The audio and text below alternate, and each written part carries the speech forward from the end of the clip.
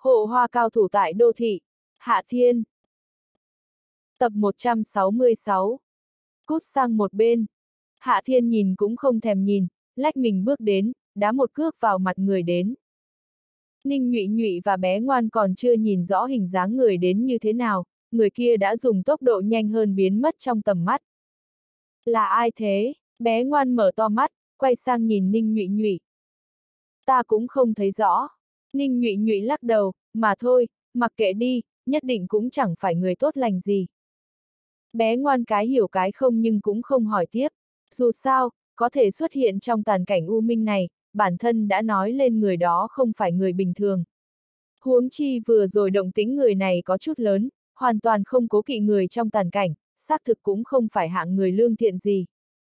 Khi Hạ Thiên trở về, Hòa Thượng Mập cũng đã biến mất không thấy đâu. a à, Hòa Thượng Mập đâu rồi? Ninh nhụy nhụy chợt phát hiện, không khỏi kinh hô một tiếng. Hạ Thiên nhếch miệng, tiểu muội chân dài, không cần gọi, ta biết ông ta đã biến mất. Tại sao lại không thấy ông ta đâu?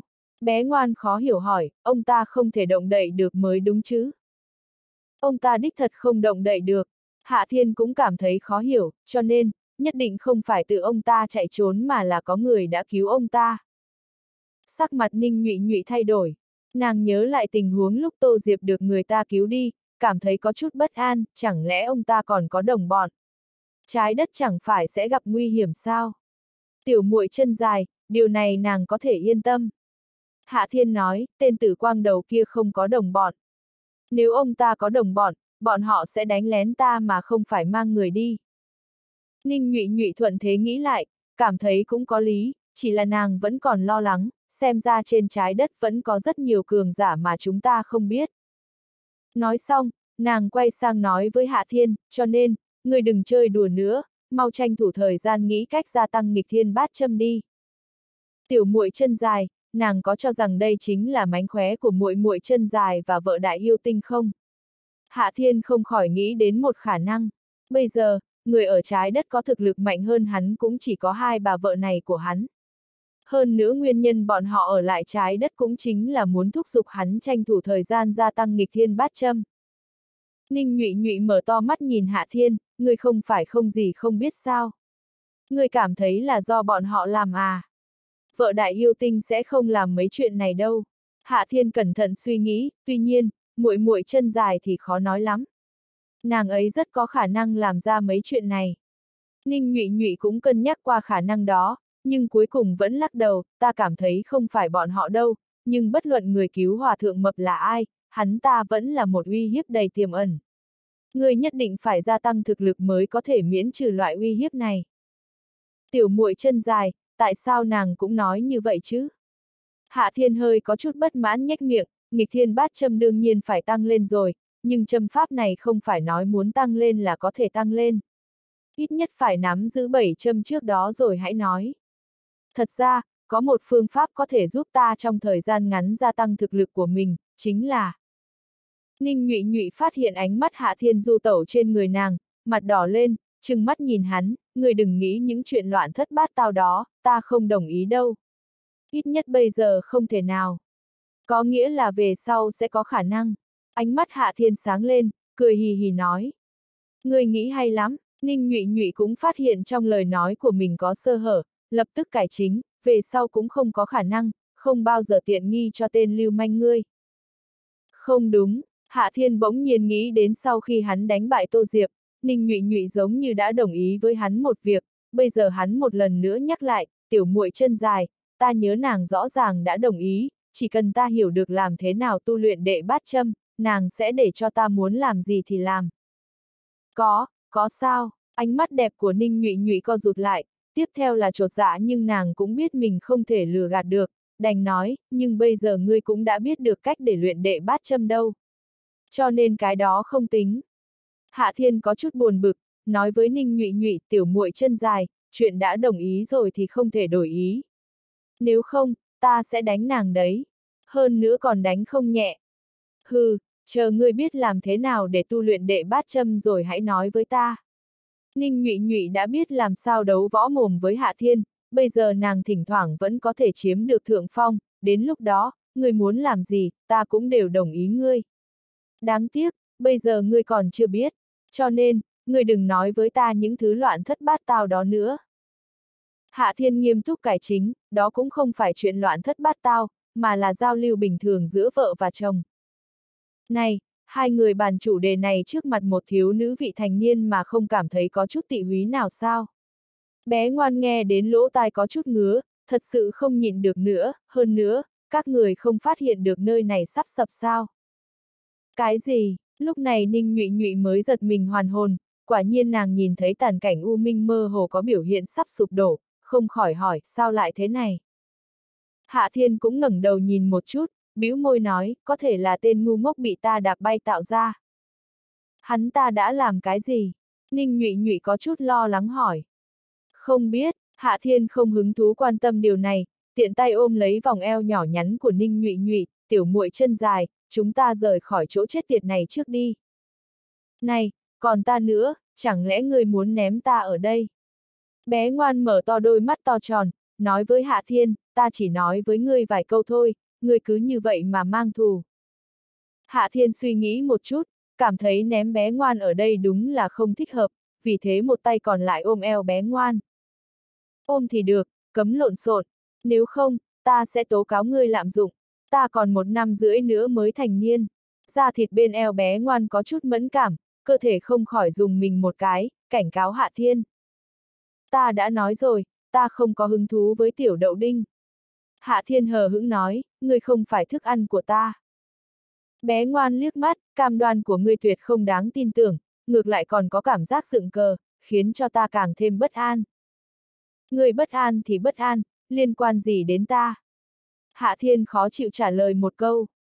Ninh Nhụy Nhụy nói với Hạ Thiên, Trương Lăng Linh đã nói qua, tàn cảnh này không thể bị hủy hoại. Nếu không, sẽ không cách nào hình thành ba cảnh cộng minh, cũng không có cách nào hoàn thành một đại sự. Tiểu muội chân dài, nàng không cần để ý nàng ta. Điều nàng ta cần làm cũng đã sớm làm xong, nếu không, nàng ta cũng không bỏ đi như vậy. Hạ thiên nghe xong, không thèm quan tâm, còn nữa, nàng đừng qua lại quá gần với nàng ta. Nàng ta cũng không phải người tốt. Ừm, ta biết rồi. Ninh nhụy nhụy có chút tán đồng lời này của Hạ Thiên. Nàng phát hiện Trương Lăng Linh nhìn thì như nhiệt tình, thật ra bên trong lại khá đạm mạc, đối với nàng nhiều hơn chính là lợi dụng. Ví dụ như đến tàn cảnh U Minh, sau khi chữa trị xong phần hạch tâm, nàng ta trực tiếp bỏ nàng ở đây mà đi trước. Nếu Ninh Nhụy Nhụy không gặp Hạ Thiên, chẳng phải nàng sẽ bị vây chết ở cái nơi này sao? Mặc dù Trương Lăng Linh có để lại tin tức, nhưng trong lòng nàng vẫn cảm thấy không thoải mái. Tàn cảnh U Minh đang nhanh chóng sụp đổ, ngoại trừ cung điện hạch tâm, những nơi còn lại đều đang sụp xuống. Người vẫn luôn ở lại bên trong tàn cảnh, âm hồn và tộc loại khác lập tức bị một luồng uy áp chấn trụ. Đa số đều băng diệt, trốn cũng không kịp trốn. Hạ Thiên trước giờ không hề có tâm thánh mẫu, cũng lời quản sống chết của những người này, chỉ mang theo ninh nhụy nhụy và bé ngoan lướt đến một lối ra. Nam Hải, nhạc gia. Các hạ là ai? Vì sao lại tàn nhẫn đối với nhạc gia ta như vậy? Lão gia chủ nhạc gia tay cầm gậy trúc, gân xanh nổi lên trên mặt, gương mặt già nua lại nổi lên huyết khí mà thiếu niên mới có. Đứng đối diện lão giả lưng còng là một mỹ nhân tuyệt sắc mặc áo tím. Chính là dạ ngọc mị. Cái này có gì mà tàn nhẫn? Thái độ của dạ ngọc mị vẫn đạm mạc, khinh thường nói, không phải chỉ phá phong ấn kia thôi sao? Thế hệ nhạc gia ta chấn thủ giới môn, người hủy nó chính là hủy đi tiền đồ của nhạc gia ta. Trong mắt nhạc lão đầu như muốn lồi ra, nếu ngươi không giải thích rõ ràng, ngươi đừng trách lão phu liều mạng với ngươi. Dạ Ngọc Mị hừ lạnh một tiếng, ngươi nên cảm thấy may mắn. Nếu đổi lại trước kia, ngươi đã bị ta giết từ trước rồi. Nhạc lão đầu chỉ nghe tiếng hừ lạnh, đã không đè nổi khí huyết trong cơ thể, há miệng phun ra một ngụm máu, rốt cuộc ngươi là ai? Ngươi không cần biết, cũng không xứng biết. Gương mặt dạ ngọc mị bất động, thản nhiên nói, ngươi chỉ cần biết, từ nay về sau bí cảnh U Minh sẽ không còn tồn tại nữa. Cho nên, nó không cần tứ giới chấn thủ xứ các ngươi nữa. Nhạc lão đầu giống như bị xét đánh, đưa tay chỉ vào dạ ngọc mị, chẳng lẽ ngươi là, nhưng ông lại lập tức lắc đầu, không thể nào, tuyệt đối không thể nào, thời gian hoàn toàn không hợp. Ta không biết ngươi nghĩ cái gì, nhưng ta khẳng định không phải người mà ngươi đoán. Dạ Ngọc Mị bỗng nhiên khoát tay, thu hồi lại vô số dây lụa màu tím, sau đó đạp mạnh, lướt lên không trung, trong nháy mắt biến mất không thấy đâu. Nhạc lão đầu nhìn nữ nhân kia đi xa, chán nản ngã xuống đất hai, thời đại quả nhiên thay đổi. Một lát sau, dạ ngọc mị đến một ngọn núi cao. Triệu vũ cơ đang chờ nàng ở đó. Ngươi xử lý bên kia xong chưa? Triệu vũ cơ thản nhiên cười một tiếng, thuận miệng hỏi. Dạ ngọc mị gật đầu, được rồi, tàn cảnh U Minh xem như đã bị phế đi, ít nhất nó sẽ yên lặng mấy ngàn năm.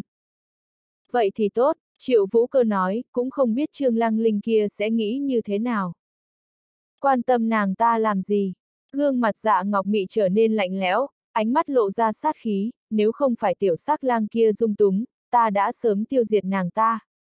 Tin tức quan trọng như vậy, nàng ấy không hề lộ ra với chúng ta, còn muốn lợi dụng chúng ta thành đại sự cho nàng ta. Nằm mơ đi.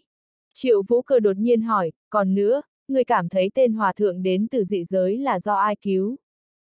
Không cần suy nghĩ, nhất định là chủ nhân của Trương Lăng Linh chứ sao?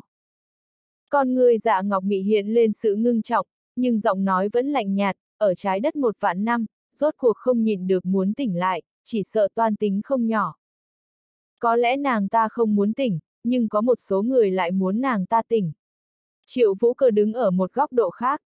Bất kể có phải hay không, chúng ta cũng không thể giao quyền chủ động ra. Dạ Ngọc Mỹ cao mày, nếu không phải chúng ta cậy miệng cổ thần bà bà, còn có Bách Thiên Lang cầu cứu, chỉ sợ chúng ta vẫn còn bị mơ mơ màng màng. Nói không chừng ngày nào đó sẽ đạp chúng mìn. Đúng vậy, trong lòng triệu vũ cơ vẫn còn sợ hãi, ta chưa từng nghĩ đến, trái đất lại thâm bất khả chắc, ẩn chứa nhiều bí mật như vậy. Dạ Ngọc Mỹ nghe xong, không khỏi cười khẽ một tiếng, nhân loại vốn tự đại, mấy ngàn năm mới phát triển đến tình trạng như thế này, đã cảm thấy mình là chủ nhân trái đất. Trên thực tế, ngay cả một phần vạn ảo diệu của trái đất cũng không dính vào. Audio điện tử võ tấn bền. Ngươi nói giống như ngươi không phải nhân loại vậy. Triệu vũ cơ khẽ ngẩng đầu, nhìn dạ ngọc mị một chút. Ta không phải người trái đất, dạ ngọc mị ung dung nói. Triệu vũ cơ khẽ cười, nếu trên trái đất thật sự tồn tại tình huống đó, ngươi cho rằng tiên vân đại lục không có sao. Ngươi nói không sai, vẻ đạm mạc trên mặt dạ ngọc mỹ nhanh chóng thu lại, có thể trước kia cảnh giới không đủ, cho nên ta chưa từng nghe qua có loại tình huống này, nhưng không biết không có nghĩa là không có, vẫn nên để nhóm người tiểu nhã đi điều tra thử xem sao. Tuy nhiên, phải tránh đánh rắn động cỏ. Triệu vũ cơ lập tức nhắc nhở, vẫn nên chờ bên này của chúng ta có chút manh mối rồi mới hành động với bên kia. Dạ Ngọc Mỹ cân nhắc một chút, sau đó gật đầu, suy nghĩ của ngươi là đúng, nhưng việc này cuối cùng vẫn nên để Hạ Thiên xử lý, chúng ta chỉ tìm đường mà thôi. Ừm, cũng may là còn có chút thời gian để chuẩn bị. Triệu vũ cơ suy nghĩ sâu xa hơn, chờ bí cảnh thiên cung mở ra, ngươi cũng vào trong quan sát một chút. Ta sẽ chỉnh hợp lại lực lượng lỏng lẻo, đến lúc đó có thể thử một chút. Dạ Ngọc Mị rất tán thành đề nghị của Triệu Vũ Cơ, nhưng vẫn bổ sung, hai chúng ta thì không làm được, cần phải thông báo cho nhóm người tiểu nhã phái thêm một hai người đến. Đúng vậy, Triệu Vũ Cơ nói, Isabella đang ở đảo Cuồng Hoan, bảo các nàng phái một người đến là được. Bọn họ đang tiến hành chuẩn bị giai đoạn đầu an thiên hội, cũng không thể rút ra nhiều nhân thủ đến đây được. Ừm, dạ Ngọc Mị cao mày, ngước mắt nhìn về phía xa, hy vọng Trương Lăng Linh, còn có chủ nhân phía sau cung chủ thiên cung là địch không phải bạn. Bằng không, chúng ta sẽ phí không ít công phu, thời gian lưu lại cho chúng ta không nhiều lắm. Triệu vũ cơ tổng thể vẫn giữ thái độ lạc quan, tình huống hẳn cũng không đến mức hỏng bét. Mặc dù người kia đã rơi vào trạng thái ngủ say vạn năm trước, nhưng dù gì cũng đã sáng tạo ra ba bí cảnh lớn, khôi phục nền móng cơ sở linh khí cho trái đất. Từ điểm này mà xem, hẳn nàng ta cũng không phải loại người ngang ngược, có đủ chỗ trống để câu thông. Chỉ mong là vậy, dạ Ngọc Mị vốn không phải là người theo chủ nghĩa lạc quan. Nàng từ trước đến nay không sợ dùng ác ý lớn nhất để ước đoán người khác. Chúng ta về tiểu tiên giới trước đi. Triệu vũ cơ nhìn sắc trời một chút, sau đó nói với dạ Ngọc Mị, tối nay, đoán chừng Hạ Thiên sẽ cảm nhận được chúng ta. Đi thôi, dạ Ngọc Mị điểm mũi chân một cái, cả người hóa thành một đạo trường hồng lướt lên không trung. Triệu vũ cơ nhu hòa hơn rất nhiều, chậm rãi bay lên, rất nhanh biến mất không thấy. Hạ Thiên mang theo ninh nhụy nhụy, còn có bé ngoan cùng một chỗ phá vỡ một phong giới môn trở về hiện thực, xuất hiện trên một bờ biển. Wow, kích thích quá! Sau khi bé ngoan rơi xuống đất, nàng kích động đến mức vỗ tay, nói với Hạ Thiên, khó trách có nữ nhân lại thích ngươi, quả nhiên ngươi vẫn có chút năng khiếu. Nội bản lãnh biết bay thôi cũng đủ để không ít nữ nhân say mê ngươi. Tiểu đậu đinh, ngươi có biết nói chuyện hay không? Hạ Thiên có chút khó chịu bĩu môi, mấy bà vợ của ta đều yêu ta, đó là vì ta đẹp trai nhất thiên hạ, còn có mị lực không ai có thể ngăn cản. Yên nào yên nào, bé ngoan lơ đến khoát tay, ta biết ngươi đẹp trai rồi, không cần phải nói đâu. Ninh nhụy nhụy thở dài một hơi, ngược lại cảm thấy có chút đáng tiếc cho tàn cảnh U Minh, không phải những người bên trong đều chết hết rồi sao? Tiểu muội chân dài, nàng quan tâm mấy thứ ngớ ngẩn đó làm gì? Hạ Thiên giải thích với Ninh Nhụy Nhụy, bọn họ vốn không phải người bình thường, có chết hay không cũng chẳng có gì khác biệt. Cũng đúng, Ninh Nhụy Nhụy cũng chưa từng xoắn suýt mãi vấn đề này, nàng đưa mắt nhìn chung quanh, đây là đâu? Bé ngoan cũng đưa mắt nhìn, sau đó sửng sốt lắc đầu, a, à, đúng vậy, đây là nơi nào? Không biết, tìm người hỏi chẳng phải sẽ biết sao? Hạ Thiên cũng chẳng quan tâm vấn đề này. Manh manh, người từ chỗ nào tiến vào bí cảnh thế? Ninh nhụy nhụy hỏi bé ngoan. Ta, bé ngoan lập tức trả lời, từ Mỹ, ô, quán cơm hòa bình, Hạ Thiên cũng vào từ chỗ đó. Ninh tỷ tỷ, còn ngươi thì sao? Ninh nhụy nhụy đáp, ta đi theo Trương Lăng Linh. Lúc đó, ta đang ngủ trong khách sạn ở thành phố Thiên Nam, khi tỉnh lại thì đã ở bên trong bí cảnh rồi. Tiểu muội chân dài, tính cảnh giác của nàng quá thấp rồi. Hạ Thiên lắc đầu, nói với Ninh Nhụy Nhụy tiểu muội chân dài, chỉ bằng thế này, ta sẽ huấn luyện nâng cao tính cảnh giác cho nàng, như thế nào? Ninh Nhụy Nhụy hoài nghi nhìn Hạ Thiên, người nói huấn luyện, nó đứng đắn không? Huấn luyện chính là huấn luyện, còn có đứng đắn hay không đứng đắn? Gương mặt Hạ Thiên lộ ra vẻ nghi ngờ, tiểu muội chân dài, nàng nên hiểu rõ ta, ta luôn luôn là người đứng đắn. Hừ, Ninh Nhụy Nhụy cảm giác có chút không đúng, chừng mắt nhìn Hạ Thiên, người đứng đắn cái dám đấy. Này, các ngươi là du khách sao? Lúc này, một nam nhân trung niên đầu chọc mặc áo polo, bụng hơi to nói với đám người Hạ Thiên, các ngươi đừng ở bãi biển quá lâu. Ban đêm thủy triều nguy hiểm lắm. Ninh nhụy nhụy nhìn người đến, không khỏi hỏi thăm, vị đại ca, cho ta hỏi một chút, nơi này là nơi nào? Người đến nhìn Ninh nhụy nhụy bằng ánh mắt kỳ quái, rồi lại nhìn Hạ Thiên và bé ngoan, các ngươi không biết nơi này là chỗ nào sao? Vậy làm sao các ngươi đến đây? Từ trên trời rơi xuống à? Không phải từ trên trời rơi xuống. Bé ngoan cười nói, là từ trên trời bay xuống. Nói như vậy, các ngươi là thần tiên phải không? Vậy để ta bái các ngươi một chút. Người đến cười ha hả, chắp tay với đám người hạ thiên một cái, hiển nhiên cũng không coi là chuyện đáng kể. Tiếp theo, ông ta đánh giá ninh nhụy nhụy, mỹ nữ, ta thấy ngươi rất quen mắt. Có phải ngươi là hot girl hay minh tinh nào đó hay không? Ninh nhụy nhụy khoát tay, ta không phải hot girl, cũng chẳng phải minh tinh. Mạc Thúc, người nên lau mắt của mình đi. Lúc này, một thanh niên đi theo sau lưng nam nhân trung niên dùng tiếng phổ thông nói, hot girl nào xinh đẹp như vậy chứ? Minh tinh cũng còn kém xa vị mỹ nữ này. Hạ Thiên có chút không kiên nhẫn lên tiếng, hỏi các ngươi cái gì thì các ngươi nên trả lời cái đó. Cần chi phải nói nhảm nhiều như thế. Ha, tiểu bằng hữu ngươi ngông cuồng quá nhỉ. Vị mạc thúc mỉm cười, chỉ vào Hạ Thiên, được rồi, ta cũng không nói nhiều với các ngươi nữa. Ở đây là Đam Châu, các ngươi có nghe qua chưa?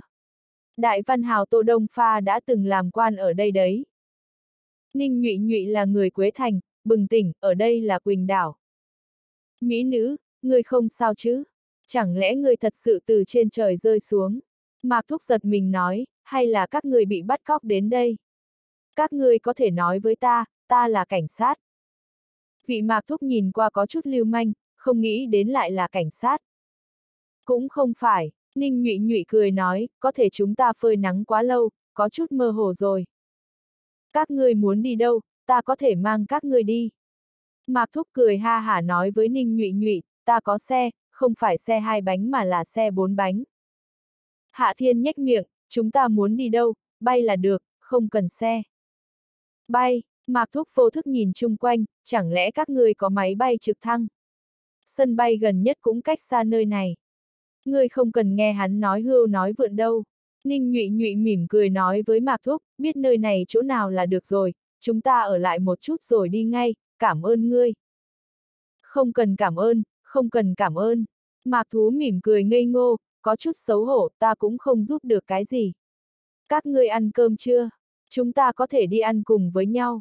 Ở đây có đủ loại hải sản, còn có gà, không cần trả tiền, bao ăn no.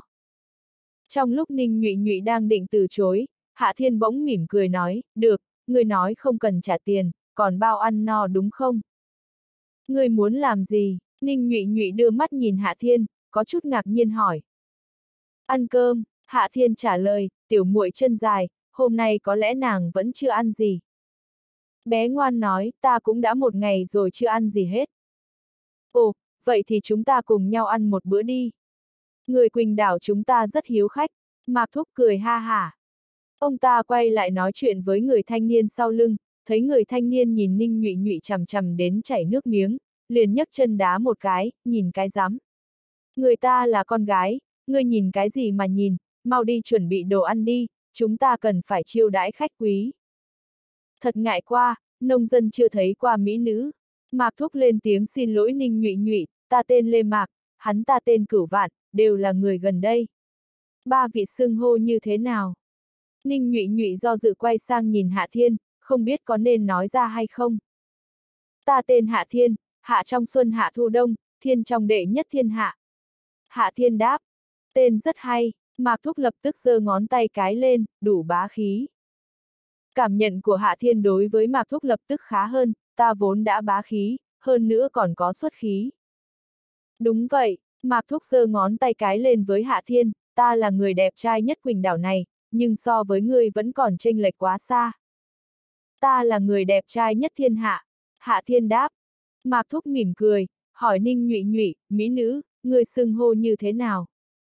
Ninh Nhụy Nhụy trả lời, ta họ Ninh, người cứ gọi ta Ninh Tiểu Thư là được rồi. Được, Ninh Tiểu Thư. Mạc Thúc lại nhìn bé ngoan, tiểu mỹ nữ, người thì sao? Người gọi ta manh manh là được. Ánh mắt bé ngoan đảo một vòng, bỗng nhiên nhìn thấy một người quay phim đằng sau một cái cây, lập tức cười nói, ta nhận ra ngươi rồi, ngươi chính là thôn bá Mạc Thúc nổi tiếng trên mạng. Ta còn là fan hâm mộ của ngươi đấy. Ai chà, nào có nào có. Mạc Thúc cười gượng hai tiếng, ta chỉ có 300 vạn fan hâm mộ, nào tính là nổi tiếng gì chứ? Hạ Thiên Thuận miệng nói, 300 vạn fan hâm mộ đích thật quá ít, làm sao cũng phải đến 300 triệu fan hâm mộ mới được xem là nổi tiếng trên mạng. Người thanh niên tên cửu vạn nhìn không được nói lại một câu, người nổ quá. Nhân tài nổi tiếng trên mạng có biết bao nhiêu người, có thể có được ngàn vạn fan hâm mộ cũng đã được xem là cao rồi. Nhiều hơn nữa lấy đâu ra. Có phần của ngươi nói chuyện sao? Mạc thúc chừng cửu vạn một cái, sau đó mỉm cười nói với ba người hạ thiên, gặp được chính là hữu duyên, các người đi theo ta, lát nữa sẽ dự tiệc. Nói xong, ông ta phát hiện Ninh Nhụy Nhụy đang nhìn người quay phim, không khỏi giải thích, ta lúc nào cũng quay video cả, nếu các người cảm thấy phiền khi xuất hiện trong video, ta sẽ xóa các người ngay. Không sao đâu, dù sao Ninh Nhụy Nhụy cũng là ngôi sao thể thao, cũng chẳng lạ lẫm gì đối với ống kính, chỉ sợ là Hạ Thiên và bé ngoan để ý mà thôi. Điều kỳ lạ là Hạ Thiên lại không nói gì. Bé ngoan lại còn đến trước ống kính, thậm chí còn bắn tim, người nhớ quay ta thật xinh đẹp lên nhé. Nếu không được, khi cắt chỉnh video, các người hãy chỉnh ta xinh đẹp hết nấc luôn. Người đã đủ xinh đẹp rồi. Mạc Thúc cười ha hả, tiện tay gọi thợ quay phim, người đứng thất thần ra đó làm gì ngươi hãy quay cận cảnh khách quý. Khó có khi gặp được người đẹp trai và đẹp gái đến như vậy cho người quay đâu. Thợ quay phim nhận được sự cho phép, lập tức quay cận cảnh ninh nhụy nhụy và bé ngoan. Về phần Hạ Thiên, hắn ta chỉ tùy tiện quay hai cái mà thôi. Một lát sau, Mạc Thúc cùng với ba người Hạ Thiên đến trước một căn nhà trúc. Đằng trước còn có một khu vực rộng rãi dùng làm nhà bếp, bày đủ dụng cụ nấu bếp, tạo thành một gian bếp đơn giản. Nguyên liệu nấu ăn cũng rất phong phú, trên mặt đất đặt mấy thùng nước, bên trong có đủ loại hải sản. Gà đâu ta muốn ăn gà, tại sao lại không thấy? Mạc Thúc nhìn nguyên liệu nấu ăn trên mặt đất, bỗng nhiên biến sắc, hôm nay có khách quý, làm sao lại không chế biến món gà văn xương đặc sản của chúng ta chứ? Gà không phải ở đó sao? Một gã to lớn trông coi nguyên liệu nấu ăn đáp. Mạc Thúc thất vọng nói, nhỏ như vậy, làm sao mà đủ ăn? Sau đó, ông ta áy náy nói với đám người Hạ Thiên, thật ngại quá, các ngươi chờ ta một lát, ta đến chỗ nhà đồng hương bắt mấy con gà đến đây, đảm bảo các ngươi sẽ ăn đủ. Không cần phải như vậy đâu. Ninh nhụy nhụy có chút ngượng ngùng nói, chúng ta tùy tiện ăn một chút gì đó là được, không cần yêu cầu quá cao đâu. Không được, các ngươi là khách quý, sao có thể lãnh đạm được chứ? Mạc Thúc làm ra vẻ tức giận, khoát tay nói, lực ca, người đi theo ta, đi mượn mấy con gà của đồng hương. Cửu vạn, người ở đây tiếp đãi khách. Được, cửu vạn cao hứng đồng ý, các người đi mau đi, nhưng cũng không cần phải trở về gấp, cứ chậm rãi mà bắt. Mạc Thúc chừng mắt nhìn cửu vạn, sau đó mang theo gã cao to ngu ngốc rời đi. Ninh nhụy nhụy cảm giác có chỗ nào đó là lạ, nhưng nghĩ lại vẫn không thấy có manh mối, đành phải hỏi Hạ Thiên, người có cảm thấy bọn họ có chút kỳ quái hay không? Tiểu muội chân dài, nàng suy nghĩ nhiều rồi, bọn họ có lòng tốt mời chúng ta ăn cơm, tại sao lại là người xấu chứ? Hạ Thiên cười nói. Ninh nhụy nhụy nghe xong, liền biết Hạ Thiên tuyệt đối đã nhìn ra được mánh khóe nào đó, chỉ là cố ý không nói ra. Bé ngoan chớp mắt nói, Ninh tỷ tỷ, ta dám khẳng định ông ta đang đánh chủ ý xấu. Chỉ mong là không có việc gì. Ninh nhụy nhụy nói. Từ đằng xa, Mạc Thúc cùng với Lực ca đi được một đoạn đường, không khỏi quay đầu lại nhìn chằm chằm đằng sau, sau đó nhỏ giọng nói, Lực ca, bây giờ ngươi lập tức chạy xe gắn máy đến cục thông báo cho Tiểu Diệp điều tra lai lịch của những người này. Lực ca sừng sốt, Mạc Thúc, điều tra bọn họ làm gì? Những người này lai lịch không rõ, hỏi thân phận bọn họ thì bọn họ cứ trả lời ngây ngô, nhất định là có vấn đề. Mạc Thú nhẹ giọng giải thích vài câu, sau đó móc ra một cái thẻ nhớ từ trong ngực, bên trong có đoạn băng của bọn họ ngươi mang cái này đi, sau đó nhanh chóng trở về. Nếu không, bọn họ sẽ sinh nghi. Lực ca hỏi tiếp, nếu bọn họ thật sự có vấn đề thì sao? Một khi có vấn đề, Tiểu Diệp sẽ biết làm như thế nào. Biểu hiện của Mạc Thúc trở nên nghiêm túc, không hề có thái độ cả lơ phất phơ như trước, ta ở đây ổn định bọn họ. Nhớ kỹ, người mang đồ cho Tiểu Diệp xong thì quay về ngay. Vâng, Lực ca cũng không hỏi nữa, cầm lấy thẻ nhớ rất nhanh chạy đi. Mạc Thúc vuốt mặt, lẩm bẩm, hy vọng bọn họ không phải là đám người kia. Nếu không, sẽ không dễ xử lý. Người nam nhìn không đơn giản, còn có ninh tiểu thư kia nữa, nhìn rất quen mặt, chỉ là ta không nghĩ ra rốt cuộc đã gặp nàng ta ở đâu. Chấm. Sau khi thấy Mạc Thúc đi rồi, Ninh nhụy nhụy quay sang nhìn người thanh niên nông thôn tên Cửu Vạn, người tên Cửu Vạn đúng không? Đúng, ta, ta tên Cửu Vạn, Cửu Vạn trong mạt trược, đồng trong cửu đồng, à không phải, cửu trong cửu đồng, vạn trong đích vạn. Cửu Vạn lần đầu tiên nhìn thấy mỹ nữ xinh đẹp như thế, khi nói chuyện có chút không được lưu loát. Ninh nhụy nhụy hỏi tiếp, người có quan hệ như thế nào với Mạc Thúc? Là thân thích sao? À, không phải, ông ấy là thôn bá, ta chỉ là người cùng thôn. Cửu vạn trả lời. Bé ngoan nghe xong, không thể nín được cười, sớm biết các người quay video rất thú vị, không nghĩ rằng người thật cũng thú vị đến như vậy. Nào có, nào có. Cửu vạn nghe tiểu mỹ nữ khích lệ, lập tức có chút xấu hổ, nhưng lời nói lại có chút khoe khoang, không phải ta khoác lác, nội dung sáng kiến những video mà Mạc Thúc đã quay đều do ta nghĩ ra. Bình thường ông ấy có công việc của mình, rất bận rộn, làm sao có thời gian mà làm những thứ này, còn không phải nhờ ta hết sao. Khi nói, cửu vạn vô thức nhìn xung quanh một cái, không thấy bóng dáng Mạc Thúc, hắn ta mới âm thầm thở phào một hơi. Vậy ngươi rất lợi hại rồi. Vì sao ngươi không tự xây dựng một kênh cho mình? Bé ngoan mỉm cười đề nghị. Cửu vạn nghe xong, cũng có chút động tâm nhưng ngoài mặt lại cười khan, ta chỉ có ý tưởng thôi chứ không có khả năng quay. Hơn nữa, ta còn phải đi theo Mạc Thúc để kiếm cơm. Các ngươi quay video, nguyên liệu nấu ăn đều là đi cướp sao? Bé ngoan đột nhiên hỏi đến một vấn đề mà nàng khá quan tâm. Không thể nào, cửu vạn xấu hổ cười một tiếng, giải thích với bé ngoan, đây cũng chỉ là để gia tăng hiệu quả cho tiết mục, nhưng đều bí mật trả tiền đằng sau. Những hương thân hương lý cũng rất phối hợp. Bé ngoan lại hỏi, người cũng là cảnh sát à? Đúng, ta, a, ta không phải. Cửu vạn đang định gật đầu, bỗng nhiên ngơ ngác một chút rồi lại lắc đầu, ta không có việc làm trong thôn. Mạc Thúc thấy ta không có việc gì để làm, cho nên đã mang ta theo. Ninh nhụy nhụy hỏi, mấy ngày nay các người có phát hiện điều gì kỳ quái không? Nếu bọn họ đã ở gần đây, điều này nói rõ gần đây nhất định có một phong giới môn. Như vậy, những ngày vừa qua có thể sẽ xuất hiện một số dị tượng. Kỳ, chuyện kỳ quái. Biểu hiện của cửu vạn bỗng nhiên trở nên mơ hồ, ánh mắt di chuyển một cách không được tự nhiên, không, không có. Bé ngoan cười nói, vậy chính là có rồi. Có phải ngươi cảm thấy chúng ta là người xấu, cho nên đề phòng chúng ta? Ninh nhụy nhụy cũng cảm nhận được, không khỏi mỉm cười, có phải Mạc Thúc đã dặn ngươi cái gì rồi không?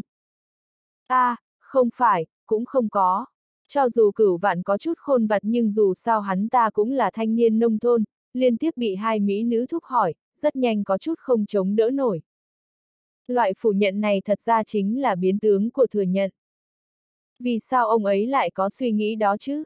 Ninh nhụy nhụy có chút không rõ, chúng ta cũng không phải người xấu, hơn nữa cũng vừa đến đây. Bé ngoan nhìn ra được chút gì đó, cười nói, không phải ông ấy xem chúng ta thành gián điệp chứ. Cửu vạn cũng không biết nên nói cái gì, có chút không chống đỡ được, cái này, ta, ta không biết. Bọn họ coi chúng ta là người xấu đấy. Lúc này, Hạ Thiên lên tiếng, Mạc Thúc đó đã đi gọi người, đoán chừng lát nữa sẽ đến bắt chúng ta. a à, cái này, cửu vạn thấy đối phương đã khám phá kế hoạch của bên mình, nhất thời không biết phải làm sao. Ninh nhụy nhụy cũng không muốn làm khó hắn ta, nàng chỉ muốn biết vì sao mà thôi, người có thể nói rõ nguyên nhân được không? Là, là như vậy, mấy ngày nay thường xuyên có ngư dân mất tích. Có người tình cờ nhìn thấy có một nam hai nữ lạ mặt đã từng xuất hiện gần đây. Cửu vạn rốt cuộc không nhìn được, thành thật nói rõ với ba người ninh nhụy nhụy, các người đúng lúc cũng là một nam hai nữ, hơn nữa còn rất lạ, lại đột nhiên xuất hiện. Cho nên Mạc Thúc mới hoài nghi các ngươi. Có bao nhiêu ngư dân mất tích, tình huống cụ thể như thế nào? Ninh nhụy nhụy không khỏi quan tâm, ngoại trừ chỉ biết là một nam hai nữ thì không còn manh mối gì khác nữa à? Cửu vạn ngước mặt lên, chăm chú suy nghĩ, sau đó đáp, cũng không phải là không có, có mấy thôn dân từng vác quốc đuổi theo bọn họ, về sau còn nói là bọn họ biến thành sương mù rồi biến mất. Mạc Thúc nói chuyện này quá nực cười, cho nên không có tin. Ninh nhụy nhụy hoài nghi là âm hồn bên trong tàn cảnh u minh tràn ra ngoài, bắt ngư dân đoán chừng chính là mượn xác trùng sinh. Nếu không bắt lại bọn chúng, đúng là sẽ di hại vô tận. Việc này chúng ta không thể ngồi xem mặc kệ được. Ninh nhụy nhụy nói với Hạ Thiên, chúng ta nhất định phải bắt lấy ba âm hồn này. Nếu chúng ta mặc kệ, thôn dân nơi này sẽ gặp nguy hiểm. Hạ Thiên lười biếng ngáp một cái, tiểu muội chân dài, nàng suy nghĩ nhiều rồi. Nơi này không có âm hồn, chỉ có người đang giả thần giả quỷ mà thôi. Giả thần giả quỷ, Ninh nhụy nhụy nghi hoặc hỏi, người nói là ai vậy? Gà, lúc này, Mạc Thúc một tay nhấc con gà la hét chạy đến, gà, gà đến rồi. Quỳnh Đảo, nhạc gia Nam Hải. Tại sao lại xảy ra tình trạng này cơ chứ? Nhạc lão gia tử thật sự nghĩ không ra, quát hỏi những người khác, rốt cuộc các ngươi đã trêu chọc ai bên trong bí cảnh. Ngồi đối diện nhạc lão gia tử là con gái của ông, nhạc nhất san và một nam một nữ khác. Khi tàn cảnh U Minh sắp sập, nhạc nhất san được hai người kia cứu tỉnh, sau đó nàng cùng với hai người kia trốn thoát từ phong giới môn của nhạc gia. Sau khi trốn không bao lâu, phong giới môn đó đã được dạ ngọc mị xóa bỏ. Con không có đắc tội ai cả. Trước đó, nhạc nhất san bị đập trúng đầu quá nặng, cũng may nàng đã khôi phục được một nửa ý thức, do dự nói, con gặp phải một nữ nhân bên trong bí cảnh, khi con đang định giết nàng ta, lại bi tảo kiếm thánh bay đến nện choáng. Lúc này, một nữ nhân diện mạo cực kỳ bình thường lên tiếng, nhưng lại phát ra giọng của nam nhân, không khác gì tào tùy tâm. Nếu nói đắc tội, đó cũng là người khác đắc tội chúng ta, nhất là Hạ Thiên. Hắn chẳng những hủy đi phong giới môn của ta, còn làm tổn thương âm hồn tiên tổ nhà ta, làm gãy phụ thiên kiếm tổ truyền tạo ra ta, làm hại ta đường đường là nam, không thể không sống nhờ cơ thể nữ nhân. Thù này không báo, ta không thể làm người. Tào công tử, người cũng đừng gấp. Lúc này, nhạc lão gia tử lên tiếng, nhẹ giọng an ủi, sau khi tiến vào tàn cảnh u minh, tất nhiên sẽ sinh ra hiện tượng di hình đổi hồn, chỉ cần bổ sung huyết khí người sống, 3 đến 5 ngày sẽ khôi phục. Hai ngày trước, ta đã phái người bắt mấy ngư nhân cơ thể khỏe mạnh, đảm bảo khí huyết tràn đầy. Đám thôn dân phế vật đó còn thiếu rất nhiều.